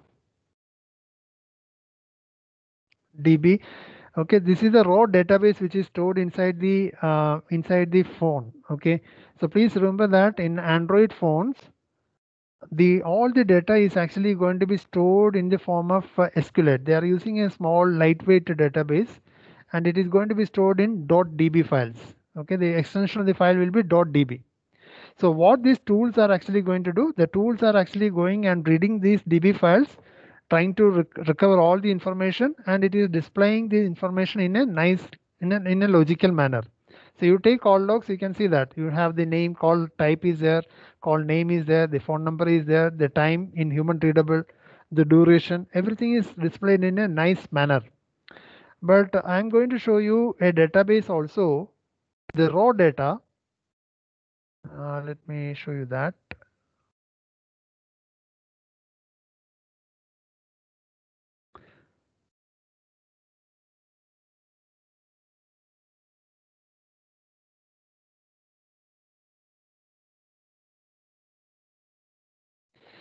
Now can you see the raw data here? So this is how the day the data is going to be stored in actual. Can you see the date? Can you see the date? It, you cannot read it actually. This is called as the Unix epoch format. So you have the address and if you scroll it down and also can you see the read status? And also the type. Some may be outgoing some may be incoming. Okay? So you can see that two it stands for outgoing sms one it stands for incoming sms and also can you see the actual body of the sms okay? But you can see this is all raw data. So what these tools are going to help the forensic investigators is it is going to display the data in a nice real manner. Okay so you can see it. It is very difficult and also you can see the like it's not a human readable date format. So you have to use some conversions and you have to convert it. So that is a disadvantage uh, uh, we have in case if you get the raw data. So these things i can we can actually get it by using the um, the the tools actually. Okay so i hope i have uh, covered this uh, session. Uh, so if you have any queries please let me know. So i just share my email id so i'm my email id is hiran at cdac.in and also my number is triple nine five double eight two seven five four. So if you have any queries related to this you can just uh, uh, mail this or this is my whatsapp number also. You can all even uh, whatsapp also you know, whatever whatever queries or doubts you are having. So thank you all. Uh, over to you sir Okay, thank you very much for uh, this uh, session, uh, and uh, it was great to uh, listen to you. Um, uh, personally, for me, it was a lot of learning experience. We'd like to request any of the participant who has any question relating to this topic, and there's anything or otherwise also relating to cyber forensics as such. If anybody has any question, you are most welcome to ask it at this point of time. Before we move on to our uh, last session of today, which will be delivered by Mr. Nabil Koya from CDAC. So, अगर कोई और कोई भी सवाल है आपके मन में जो आप पूछना चाहते हैं कि जैसे डेटा जो आप लेके आते हैं उसका क्या आप करेंगे या कैसे उसको असेसमेंट ऑर्डर में यूज़ करेंगे या किस प्रकार से अपील में वो ठहरेगा। तो आप सवाल पूछ सकते हैं। और वैसे अगर आप कभी भी कोई सवाल आपके मन में हो तो वो ये मिस्टर बोस का जो ईमेल आईडी लिखा है heron at the rate C dat dot in इस पर आप कभी भी उनको मेल कर सकते हैं। और ये जो फ़ोन नंबर है, जैसे उन्होंने बताया कि ये उनका व्हाट्सएप नंबर भी है तो आप उनको व्हाट्सएप भी कर सकते हैं। कभी भी आपको कोई भी परेशानी महसूस हो मिस्टर मिस बोस यहाँ का जो सी का जो का जो ट्रेनिंग इस्टेब्लिशमेंट है उसको कोऑर्डिनेट भी करते हैं और इसलिए वो बेस्ट स्थिति में होंगे कि आपकी मदद कर सकें जब भी कोई ऑपरेशन आप कंडक्ट कर रहे हैं उस वक्त तो on behalf of the D T R T I. I would like to thank thank Mr. Bose. Uh, thank you sir thank you so much uh, for giving me this opportunity thank you all and uh, have a good day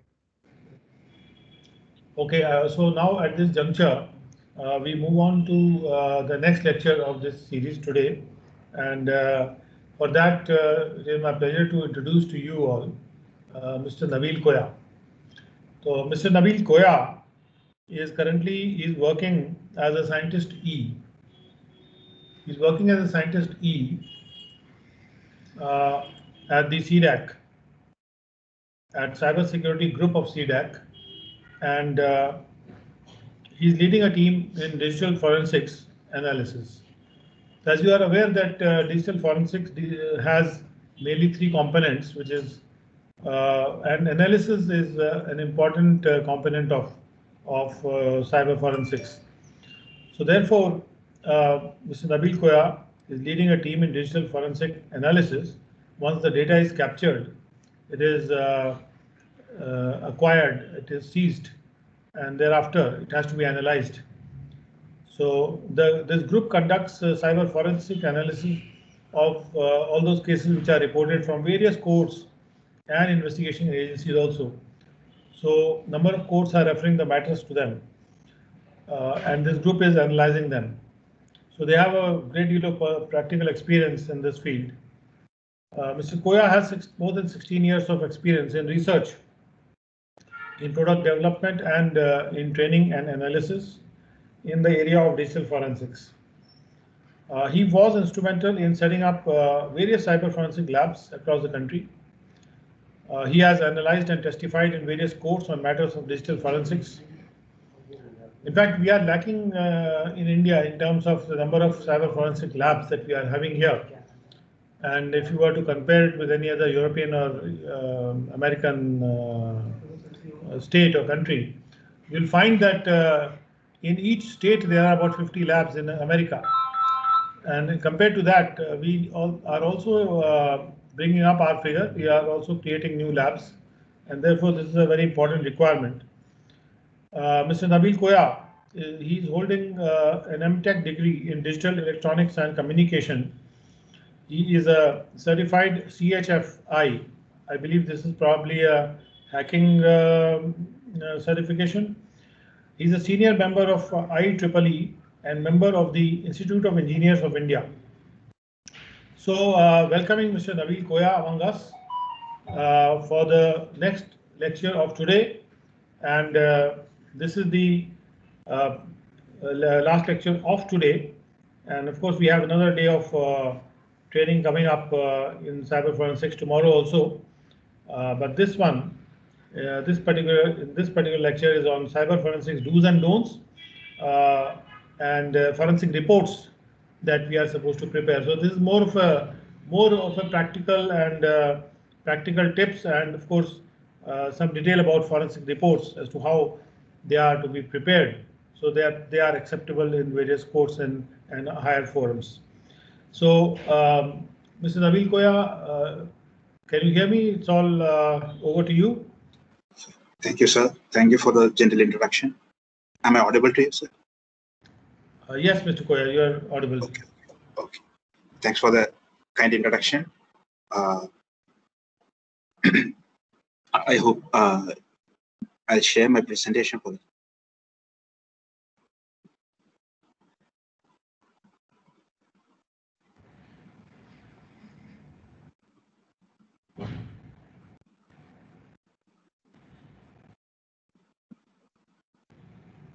Yes, we can uh, see your presentation. We can see your screen. Okay. Yes, we can see your presentation. Good evening, officers and members of this uh, training program. Uh, myself, I'm Nabil, as was introduced by the speaker. Uh, I work with the Cyber Forensics Group of CDAC. So this being the last session, um,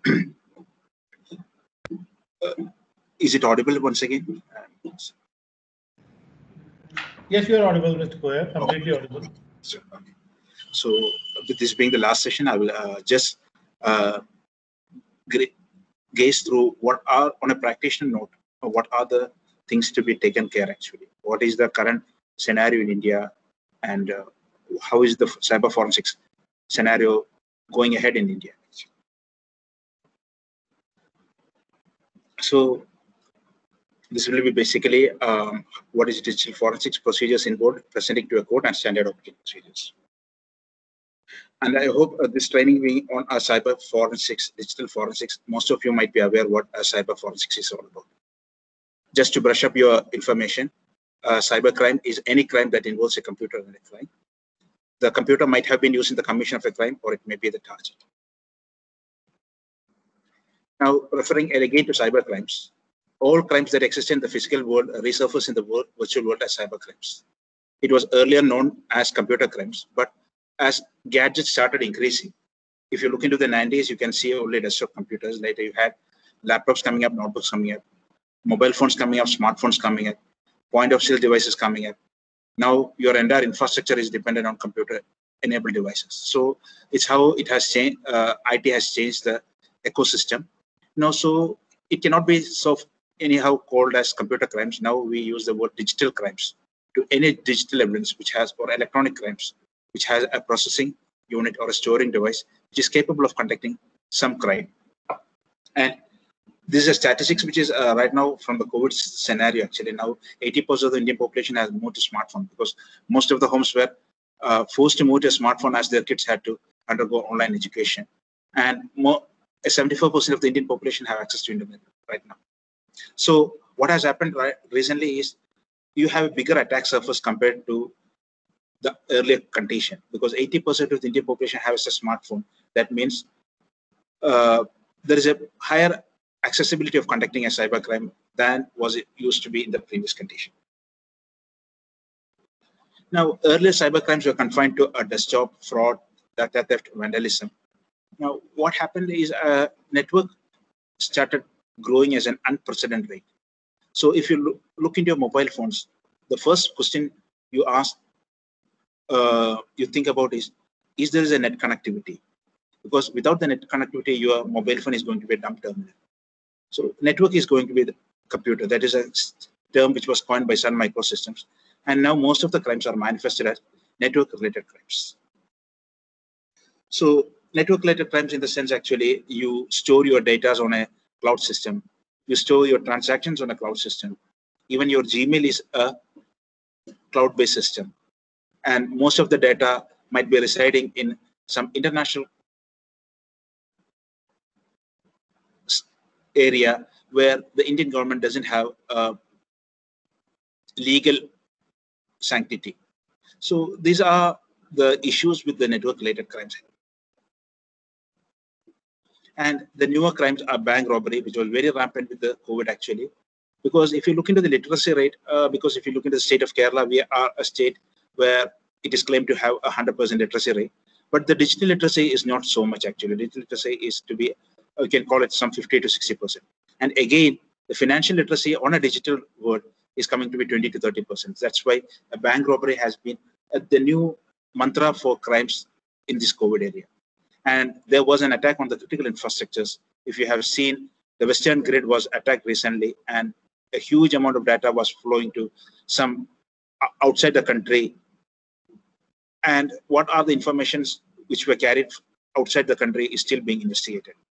And there are still fake news attacking institutions of governance. So these are new age crimes actually. So as you are aware, when a crime, if there is a crime, there should be a legal system to penalize it actually. And India had promulgated the IT Act in the year 2000. So the main intention of the IT Act was not to look into the cybercrime aspects because if you look into the year 2000, you can just think of what was the computer configuration at that point of time. It was just a Pentium machine. You had a Satyam or a BSNL 28 kbps connectivity.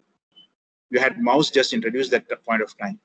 You didn't have laptops, and the desktops were confined to a medium or upper class community only. So it was not a, such a big thing at that point of time. So India, even though that at that point of time India had promulgated the IT Act, it was India one of the few, fewest countries which have promulgated the law that at that point of time. So what basically the IT Act mentioned of 2000 mentioned was it was to legalize the usage of digital signatures and electronic communications. So that explains it. If I write a mail to one of your officers, as a civilian, I write to you being a government servant, I write to you on an email, a complaint or a petition or whatever be it actually. You are bound to take legal action because electronic communication has been legalized by this form of communication, IT Act. Even now, court summons are being uh, supplied on electronic communication channel. Similar to that, uh, it ratified the usage of digital signature because that time servers were coming up. Server industry was web servers were coming up in this. So we wanted to know whom were we speaking to actually. And in the cybercrime world, there is a terminology which states that you do not know whether you're talking to a man or an animal on the internet. So what digital signature basically does is it tries to ensure that you are talking to a valid person over the internet. And a, a simple example of digital signature, as you might be knowing, is the HTTPS, the browser going green, or a thumbs up signal coming up. These are all examples of digital signatures. So cyber crimes were mentioned, but not to the tune of digital explosion as it happened today. So there were cases which cited inadequacy in the laws, and hence IT Act 2008 was formulated.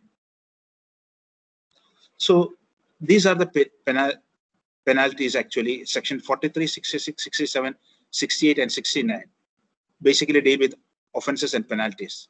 And as you might be aware, you can just uh, refer to 60, section 66A, which has been quashed by the Supreme Court, stating that it's the intrusion into the privacy of an individual, actually. 67 is basically for obscene content against women and children, and 69 is attack on the critical infrastructures. 43 is for defamation and such in, uh, uh, causing theft, uh, threat, all those come under section 43. Now, why do we need uh, evidence? Any judiciary works on evidentiary data for analysis and conviction. It has to be proved beyond doubt that the evidence was related to the case. The evidence should also be tamper-proof. So, as the rules which were applicable to the other evidences are still applicable to digital evidence, but in a much rigorous format, actually.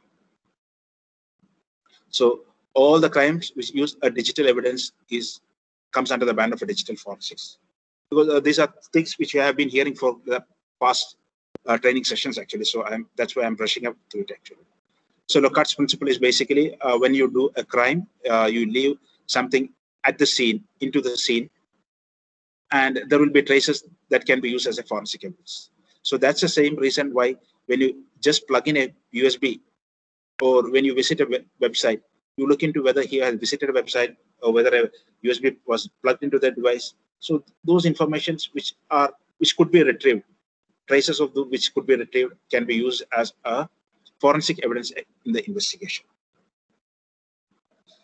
The problem with digital evidence is actually it is volatile, fragile, and can be easily tampered. So that is the biggest problem that investigators are facing these days actually.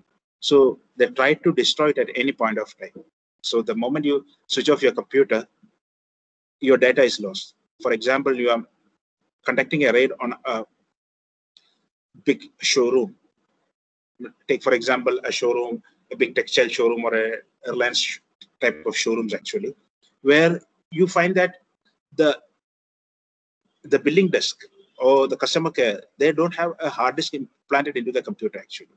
All they have is a thin client machine which don't have any hard disk. They are directly connecting to the network, to the server the daily updates are coming from the server, pushed from the server. So once you switch off the machine, the end end machine or the customer support machine, you are not going to find any data which will be useful to you. So you need to look, finally figure out which is the server corresponding to. So this has a bigger ramifications actually because when you try to uh, look into data of this sort, the volatile data has to be captured at the earliest so that you get a hint into the only information which will be uh, supporting your investigation further investigations is where is the server located actually? So that will be a entering point to the investigations. The digital evidence second point is it's fragile basically. So uh, once it can be uh, mishandle it the data can be lost for temper permanently. And in india there is a big this is big another big issue actually. We don't have a big utility, big uh, network where we could recover damaged devices actually. Still, um, we lack in this area actually. So the culprits are taking advantage of that uh, to the, uh,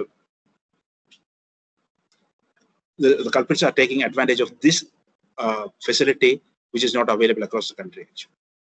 and it can be easily tampered with you might have recently heard in uh, the Bhima Koregaon case, uh, the analysis which was done by a foreign company, stated that the malwares were implanted into the machine and the victim didn't do anything of himself. So it was a action of a malware, but we cannot identify who implanted the malware, but the victim didn't do anything. So now it becomes a tough question. In any investigation which comes before the court, the defense counsel is coming up and telling that no, we didn't do anything actually. It was a malware which was which had done the all the horrific activities. So my client cannot be made accused in it actually. So now the investigation, the forensic science becomes more tough because you need to prove that it was his activity rather than a mal malicious activity. Okay, so that's how a new set of formulations are needed for digital evidence management. So these evidences should be admissible in a court, should be authentic in a court, should be reliable, believable, and complete. So these are any properties of any evidence which should which are submitted before a court. But admissibility, authenticity, reliability, and believable should be much adhering to these digital evidences. Or else what happens is these digital evidences will not be considered as part of the investigation. And finally, the court shall strike off these evidences. That means your valid testimony relating to the case or valid evidence relating to the case has been moved away. So that's why you need to follow a very strict procedures, adhering to the standards, adhering to the law of the land, so that your evidence doesn't become an admissible in a court of law. Because after all the hard work you have done, you had told for two years, three years to come up with a case sheet. Finally, if it, the evidence is not admissible in a court of law, your whole work has been in vain actually. So it's better to follow the procedures actually so that uh, your effort are rewarded. So this is a definition actually, need not because everybody of might you know. So the objective is to identify the digital evidence. You need to acquire the digital evidence. You need to authenticate the digital evidence and report the digital evidence. Acquire. Uh, I heard Hiren just now mentioning what is acquisition of a digital evidence actually. So authentication is you need to prove that the evidence hasn't been tampered. And finally, you need to report it to the police. So what are the objective of a digital forensics? Sorry, my spelling has been misspelled actually. So digital forensics helps to identify the cause of an attack. It also does in restoration of failed services and it does to mitigate further attack. But uh, our perspective will be on the first one actually to identify the cause of an attack. How did this happen? Was there any useful information which relates to the concerned cybercrime? So this is the cardinal rule which you might have studied during this forensics class. Actually, you should never work on the original medium and use a write protection mechanism. But you cannot take this as a blanket statement. There are variations of this because this was formulated at a time when the hard disk was the major component of any, any electronic evidence. Right now, as you saw, Hiren Bose was discussing on mobile phones, you saw that he had inserted an agent into the device for a logical acquisition or a physical acquisition. Now, how does the work on the never work on the suspect device get validated? Now we are following a, some other procedure, and these procedures has to be validated by some international community so you can stand it before the court of law. And you use a write protection mechanism. Use a write protection mechanism. How do you ensure that because you are inserting an agent, then you are telling you are using a write protection mechanism.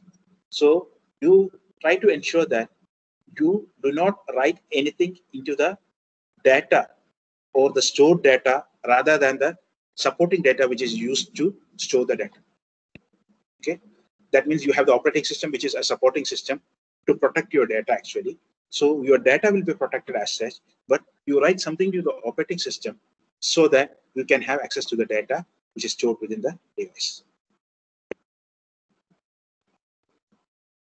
So these are the digital forensic steps for your information. First is identification, seizure, and hashing, and both of them are done at scene of crime. Then later, depending upon the uh, concerned state, and if you are a uh, belong to the uh, um, taxation departments, uh, you can directly, you need not move to the court actually. What the cases which we receive from DRI, customs, or income tax, GST departments actually, they directly come from the commissioner to our lab actually. So in case if the law wants you to send it to the court and then send to the lab, do that way, or else you can directly send it to the analysis lab. But you need to ensure that at the scene of crime, you do the complete procedure exactly. So what is the procedure you need to do at the scene of crime?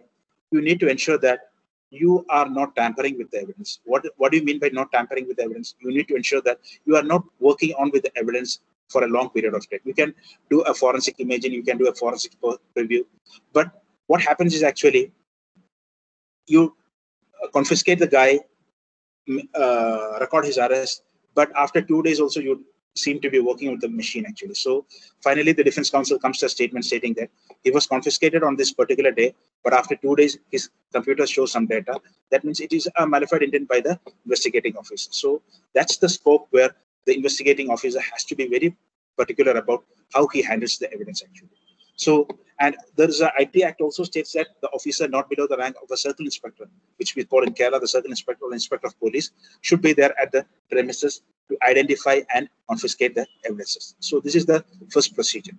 And during the procedure, it has been mandated that you do the hashing at the scene of crime. Uh, just for information, I hope you all of you know. Just can one of you to answer whether you know hashing. What is hashing?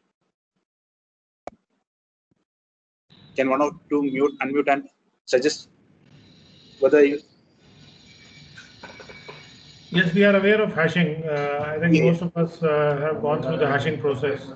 Okay, okay, that's fine. So, thanks for the answer, sir. So, uh, you need to do the hashing at the scene of crime, actually. So, what is the practical difficulty in the hashing? As uh, during just prior to my uh, lecture, uh, it was mentioned that uh, there are some 50 plus labs in the US or in other European countries also. So, the problem with hashing nowadays is actually so if you are an income tax officer actually, or you are direct tax or income tax, indirect tax department, whatever be it actually. So what happens is actually now the amount of gadgets has increased so much actually. So if you have done a hashing, you might have done a hashing on a 32 GB pen drive or a 8 GB pen drive. An 8 GB pen drive might have taken 10 minutes with your utility. But it, when it comes to a 1 TB hard disk or a 2 TB hard disk, which is the norm nowadays actually, because any machine you have a 1 TB disk or a 2 TB disk. So it's going to be one and a half hours to two hours actually. And if you have n numbers actually, that means your investigating team has to spend a, two nights or two days at the scene of crime hashing all these evidences. So that's going to be a big headache for the investigating team. So in case if you don't have the proper utilities, you don't have the proper uh, equipments, you don't have the power. There's another issue also. You don't have the power backup also because um, the other guy, because you are going to raid a corporate house, what he might have done, he has um, bribed the uh, local electrician so that power supply is not available. So how are you going to do this uh, continuously for 24 hours or 48 hours? That's a big challenge actually. So that if you have the, if you ensure that everything is in time, tune, you can uh, go ahead with the hashing procedure. Or else what can be done is actually you identify all these evidences, seal them, pack them as in a normal evidence collection procedure with two witnesses and everything. Finally, you send it to the analysis lab. But you need to ensure that make a question to the analysis lab stating that because in the sealed cover you might have made the date the time of seizing and so you need to ask a question to the put forward a question to the analysis team stating that do you find any data after this point of time so this will validate your credibility in further investigations because the first question the defense counsel comes up statement is that he had implanted something into the evidence. So after uh, 2nd of February or 1st of January, nothing has gone into the machine ensures that uh, the investigator had nothing to do with the evidence. So that's a way you can uh, ensure that your activity doesn't go in vain actually. So this is the important part in hashing process. This is a practical scenario where unless you have the proper power supply, the proper tools, it's always better to have a normal evidence collection procedure. Okay. Now, once it's uh, done, you take it to the acquisition. Acquisition means you make an exact copy. And it's done basically at the forensics lab. So how do you proceed to the forensics lab? You usually make a statement stating that please extract all the valid information relating to the case. You mentioned the nature of examination also. So the nature of examination along with the uh, data which is uh, required by you will be duly analyzed by the analysis team and they will come up with the reports. And during the analysis procedure, they also need to do an authentication procedure. So if you look into the second step, which is the seizure and hashing, if you had done a hashing there, the analysis team would recreate the hash values at that point of time. Or else what will happen is actually, if you haven't done the hashing at that point of time, the analysis team will do the hashing and ensure that this is the hash we have taken at this point of time, including the date and time which they have mentioned. So that ensures that hashing has been done. And now during the acquisition process, they take the forensic copy also. So it can be either way. Uh, you do that authentication and make the acquisition or acquisition and authentication because in most of the handheld devices, it goes hand in hand. Okay, so you make the forensic copy and with the forensic copy, you do the analysis. Now, the original is with you. You have the forensic copy. You now work on the forensic copy as per the nature of examination. And according to the nature of examination, you come up with results actually. So as uh, I just saw in the Hiren Bose session actually, uh, you look into SMS, you look into call logs, and if it's a hard disk, you look into what were the pen drives inserted. Did he have any connection to any cloud network? Did he have any uh, databases stored within the machine? Did he have any applications which were installed? So a lot of information which is pertinent to the case has to be analyzed. And basically analysis is a time consuming process. The big difference is actually now we don't have a sufficient number of analysis labs across the country. I'm just coming to what is analysis lab scenario in the country but we don't have take it for granted we don't have analysis labs across the country. What we have the cfsls we have the fsls actually and some institutions like the cdac or the gujarat fsls gujarat forensic science laboratory so uh, basically all the agencies flood up their data flood up their evidences onto, onto these institutions and they are unable to complete it on time. One is due, due to lack of experienced manpower due to lack of infrastructure lack of sufficient tools actually. So it's uh, also a time-consuming process. Analysis is basically a time-consuming process. You can call it finding a needle in a haystack. So this is in a nutshell what the basically analysis do. You need to do in a lab where you have the sufficient tools. You do the authentication, you do the forensic copy, then do the analysis actually. And there are certain instances which where you can't do the forensic imaging. Then you just do uh, screenshots. Then you uh, certify it that then go ahead with the investigation search. So finally, once you have come up with the analysis, you make a presentation. Presentation will be a report which you finally submitted before the court. And finally, you have to preserve the evidence also. We need to preserve the evidence for a longer period of time because I understand if it's for the direct tax or the indirect tax, it's the commissioner who is the first uh, appellate authority. And the second appellate authority is going to be the district court or the high court. Actually. So you need to pursue the case might go on for five to six years it might go up to 10 years and you need to have a proper preservation mechanism so that uh, the evidences if it's a re-examination is required at the high court level then you need to ensure that the evidence works properly. So this is a, a practitioner way of thinking on a digital forensic steps. I hope uh, it's clear to you. So why do we need a standard and what are the different procedures? Because we have different devices different procedures.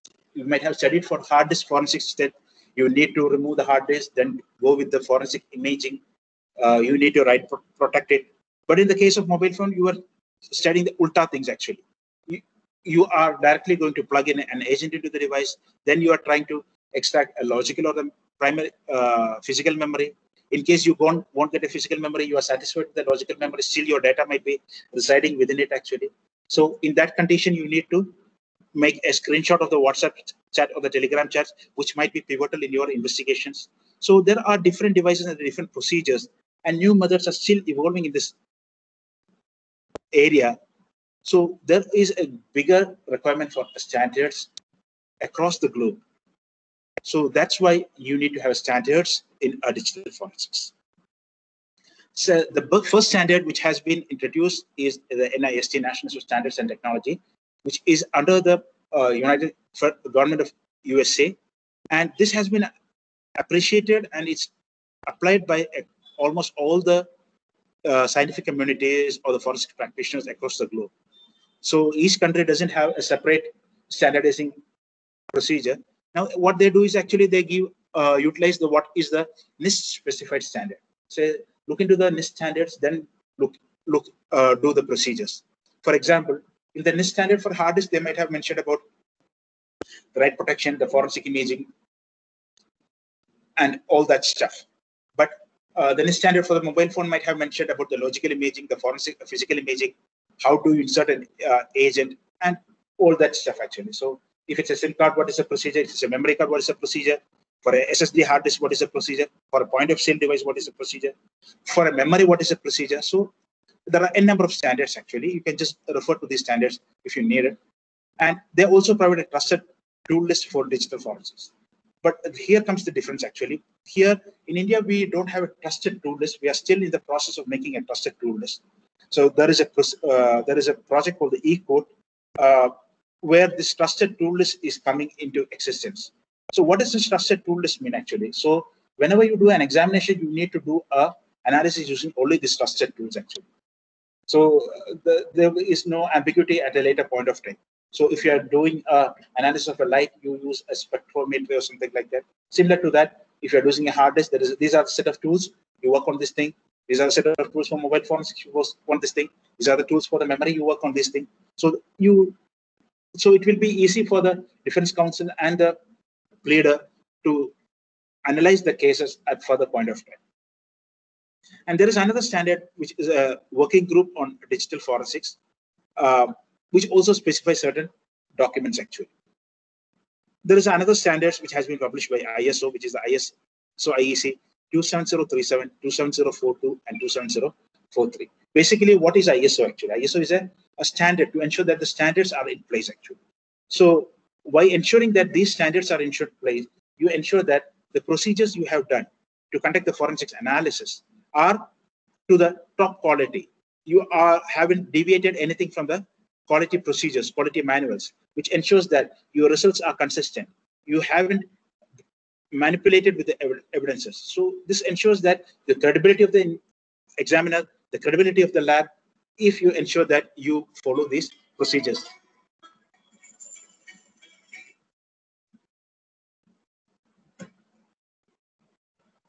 So ISO, just to, for a glimpse, actually, it gives guidance for the following devices, digital storage media, mobile phones, mobile navigation systems.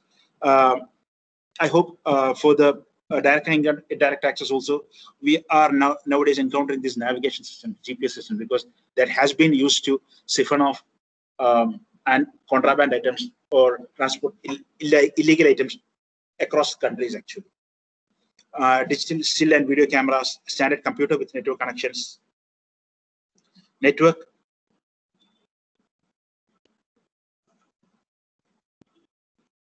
devices. So there's another uh, standard how methods and process has to be used during investigation. So now uh, when you're testifying before the court, the first question comes to you as, have you followed a pro procedure? Have you followed any standard? So if you're damn sure that your lab or the procedures you have evolved are according to some international standard, that's pretty good actually. There is no one else to question on that point. Actually.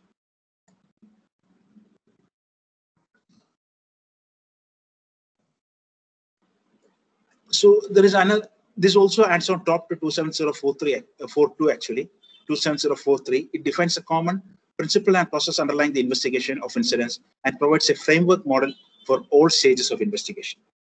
It's basically for incident response, Um, and also, it's a you can look at it as a three-tier system. 27037 mentions what are the standards should be followed.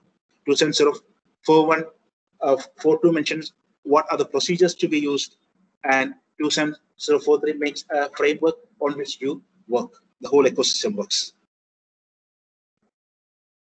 Now, uh, this is uh, another important uh, detail on an forensics examination, which is known as electronic evidence examiner. So in most of the courts, when as an uh, as a government official, as an investigating officer, you send it across to CDAC. For example, for example, take you send it to the CDAC, and the case comes before the court. Now, the first question as an asked by the defense counsel to the investigator is, why did you send the case to CDAC?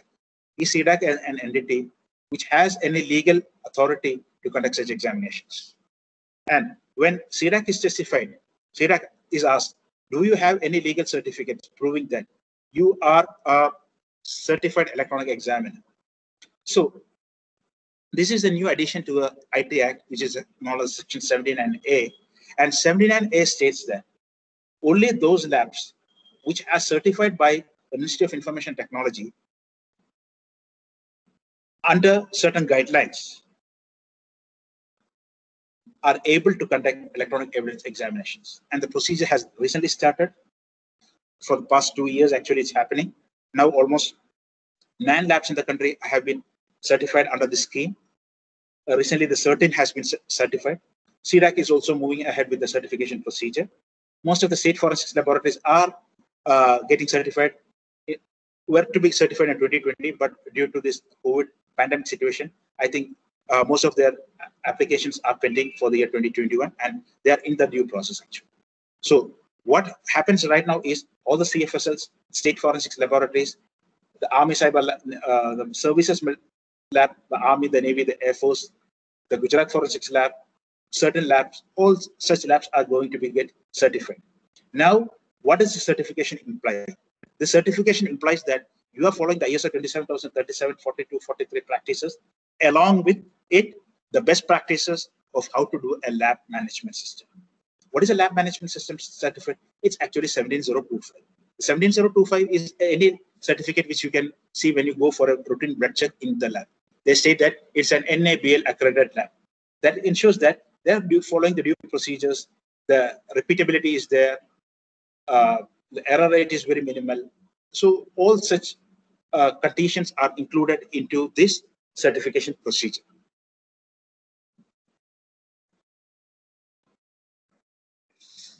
So what the lab should do is the lab should adhere to the general uh, lab, laboratory principles. It should have a standard operating procedure. And the standard operating procedure has to be derived in accordance with the NIST guidelines, SWDG guidelines, 27037, 42, and 43 guidelines. And it should have a quality manual um, just to the previous point, a standard operating procedure means uh, what do you do in case you have a hard disk? How do you receive a case? Do you have a chain of custody form? Do you uh, forensically image uh, with the in, investigate in front of you? So these are the procedures which will uh, make down, not down, and the quality manual ensures that uh, the repeatability, the procedures are in tune actually so that your results are not error prone. So this is the statement which I mentioned earlier. The procedure also requires the lab to be certified under 17025 for testing laboratories. Now, the lab should have the sufficient hardware and software infrastructure. The lab should maintain a record of all activity. The lab should maintain a chain of custody. Now, what is a chain of custody? I hope you know. Basically this chain of custody starts the point the investigator goes to the scene. He confiscates a device. Now he makes a note that this device was confiscated from this point of time by from this particular fellow at, the, at this particular location. Now that has been written. So it is received from somebody. It is taken from somebody and it has been received by someone. Now when it comes to the forensics lab the forensics analyst at the lab writes that it has been taken from the investigator and it has been received with the forensic science laboratory that means the way the evidence has moved is very important because that can come as a questionable point in a later point of time before the courts. because in foreign countries they usually follow the chain of custody and it's very mandatory that the evidence movement of your evidence has to be properly recorded so that you do not lose track of your evidence at any point of time and during the lab operations you need to maintain record when did you start the operations for a particular hard disk when was it completed and what were the major findings actually because uh, a normal hard disk analysis might take uh, two to three weeks actually depending upon the questions which have been posted.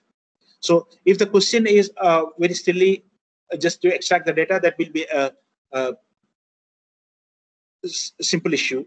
But if you are requested to find out deeper insights into the hard disk, it might take time actually. So it might take two to three weeks to complete the procedure, even with the best automated tools right now available. So that means what happens is actually uh, by at the end of the third week or the second week, you are unable to recollect what you have found at the first week. So you need to have a proper recording mechanism where you look into what were the findings actually during the course of the investigation. And the principle of do not work on the original evidence might not be applicable in all cases. But this is a typical example which I have recently encountered in our lab actually.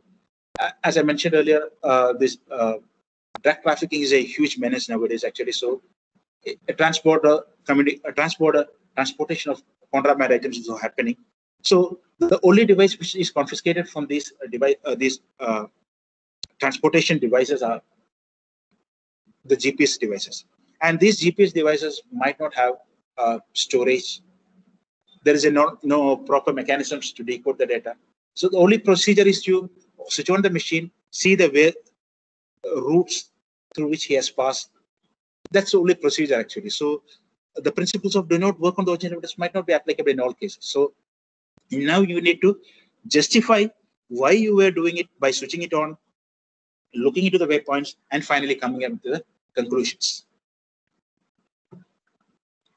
And finally, you need to make a reports actually. The reports has to be signed by the authorized personnel with proper countersigns and seals.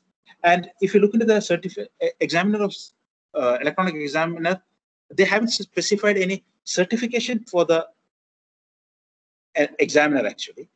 But being a government servant, the government has a procedure actually. So um, what it mandates is those organizations, the forensics laboratories, they are already a competent person who has been recruited by the government. So that's why specific certifications are not required in case of a forensic examiner in our country actually. And the report should also mention the equipments used. The report shall have information on the chain of custody, the hashing information. Any deviation from the normal procedure has to be explicitly stated. Uh, as uh, Hiren Bose was mentioning, uh, you have two methods actually. You have the logical, you have the physical mechanism. But there is still a, another challenge before the mobile phones. You have a pin lock, you have a fingerprint lock, and also suppose the guy has committed suicide on seeing the investigator or out of fear he has committed suicide. Now you have a pin lock, uh, face recognition, pattern lock phone. Now how are you going to analyze it? And this fellow is going to be the only information from which you can proceed further in the case. So the next step will be you need to decode the phone. Decode the phone. How do you decode the phone? You need to remove the integrated circuits within the mobile phone. That means you are going to disassemble it. You are now going to consult electronic parts from those devices, just as you do a forensic imaging of a memory card, you need to identify which is the memory storage. Then you need to remove it forensically using uh, sophisticated mechanisms actually. And then you need to decode the contents of the memory. So this is a deviation from the normal procedure because that uh, analysis is very pivotal to under to go ahead with the investigation. So such deviations has to be specifically mentioned in the report section. And now what happens in the courts nowadays actually, even if the defense counsel, because being an advocate, he might not be having a thorough knowledge, but what he can do is he can bring in experts to make counter arguments to what you have been written in your reports. And the as you had seen, actually, the last part is actually you need to preserve it properly. And you need to preserve it properly for a longer period. If you look into the uh, municipal courts, district courts, the cases are pending for more than 10 years, actually. That means your normal MP3 CD player will not work for more than three years, actually, which you run in your car or which you keep at your home. So how are you going to preserve such an evidence for a longer period of time? So you need to use an anti-static wax. You need to reduce the EMI interference. So your preservation room has to be very adequate. And the best preservation room is the one with a complete glass cabinets and which is very costly. So what we do at CDAC is actually we do the anti-static uh, covering. Then we have a 24 by 7 air conditioned room, which is a dust free, uh, fire resistant room.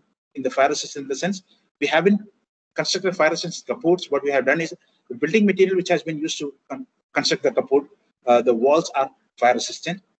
Then we have fire uh, suppression systems, and uh, we keep it in uh, enclosed within a cupboards actually. And uh, we try to ensure that steel iron almirahs are reduced so that the EMI interferences, such issues doesn't happen to these evidences actually. So uh, this is a uh, seems to be a minute affair, but preservation for a longer period is going to be a big challenge. That's why in the coming upcoming e-courts uh, project, they are trying to build up a set of servers where these digital evidences are stored in a digital format rather than on your individual hard disk. These are already stored in the court premises in uh, some servers, bigger servers actually, so that any of at any point of time, the, the court, the district court, or the high court, or the supreme court can just view it from the repository rather than storing it individually actually. So that requires a good bandwidth, good network connectivity, and a good storage also. So that project is still ongoing actually. And there are standard operating procedures, but uh, still a unified operating procedure has to be devised. But the procedures which has been adopted are should be best suited for the Indian conditions. And uh, I hope uh, most of the officers are from DTRTI, and uh, the your headquarters has a good training academy has a I think they have made the procedures in a three volumes. Once uh, while I was in their campus, I have seen it actually. Uh, three volumes of their this, the operating procedures for cyber digital forensic activities. They have beautifully made, made it um, come up with these procedures actually. Now, uh, new these are the challenges actually. You have new devices. New devices uh, how we are going to forensically image it. Then enterprise based forensics. Just now uh, recently last week we had an attack on the western power grid. How are you going to under, understand it? Big corporates how are you going to do it actually? You can't uh, the data is stored on the cloud actually. The cloud is the real estate of the cloud is in uh, united states of america romania or any country which doesn't have a legal implication, or you don't have uh, uh, the law which states that what you call there's a law um, which CBI basically uses to get information. Okay, if that country doesn't abide to such laws, actually, uh, how are you going to get those evidences and finding a procedure admissible for the court? Actually, so new devices storage capacity is increasing, increased security. Now, all forensic product doesn't do well actually. Some does well in some product areas, the others do better in some other areas. And the new gen forensic devices, new latest version of the devices might have some more features actually, but you might have done your examination on a tool which was two years older. So does that testify before the court actually? Because the newer version states that you can you are able to extract telegram chats. The earlier version were was not able to do it. So how are you going to justify it before the court actually? That's a big challenge actually. And the authentication. Was the hash values done properly? Okay so oh uh, this is going to be a challenge because md5 is slowly vanishing from the uh, security domain. Now sha1 and sha2 has replaced it because there is there has been reports where challenges are raised on these hash values of MD5. So these are the analysis issues, malware analysis, the analysis of Linux systems, analysis of database files, physical analysis. All those are coming up big challenges. Then the biggest challenges are damaged devices. And again, audio, video, and image forensics actually. How do you testify?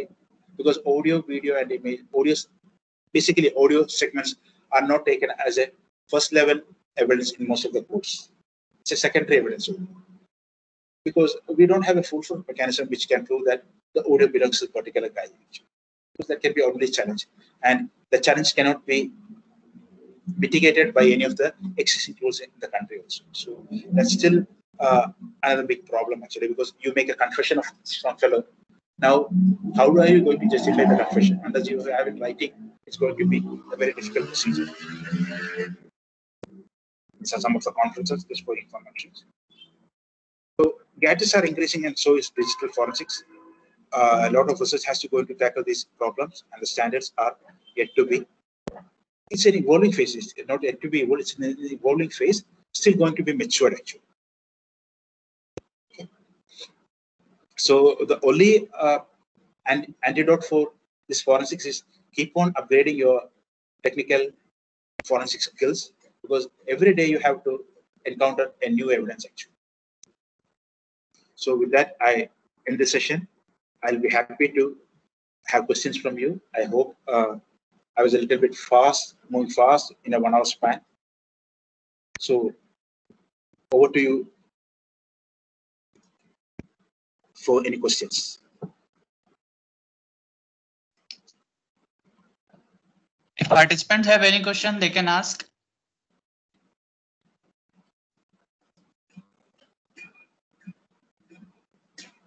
Anyone?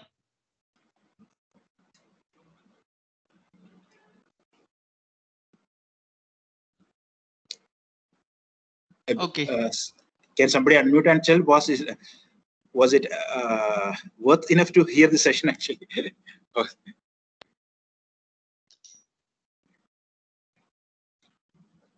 Were you able to follow the procedures?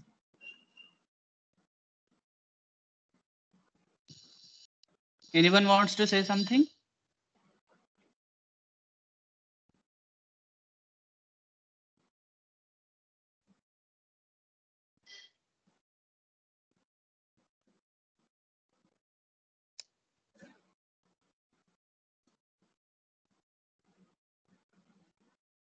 If you have any queries also, you can just uh, post in a mail to um, Mr. Hiren Bose, or you can uh, contact me. I'll try to help you out.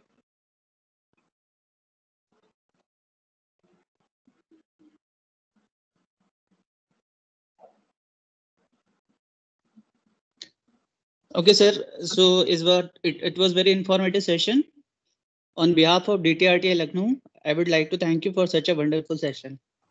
Thank you, sir. Thank you. Thank you all. Thank you all participants. Have Thank you so much, sir.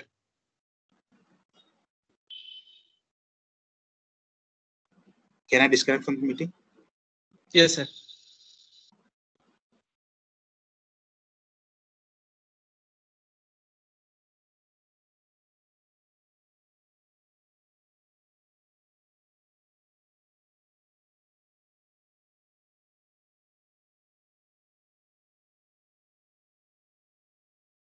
Participants are requested to join us back tomorrow at 11 a.m.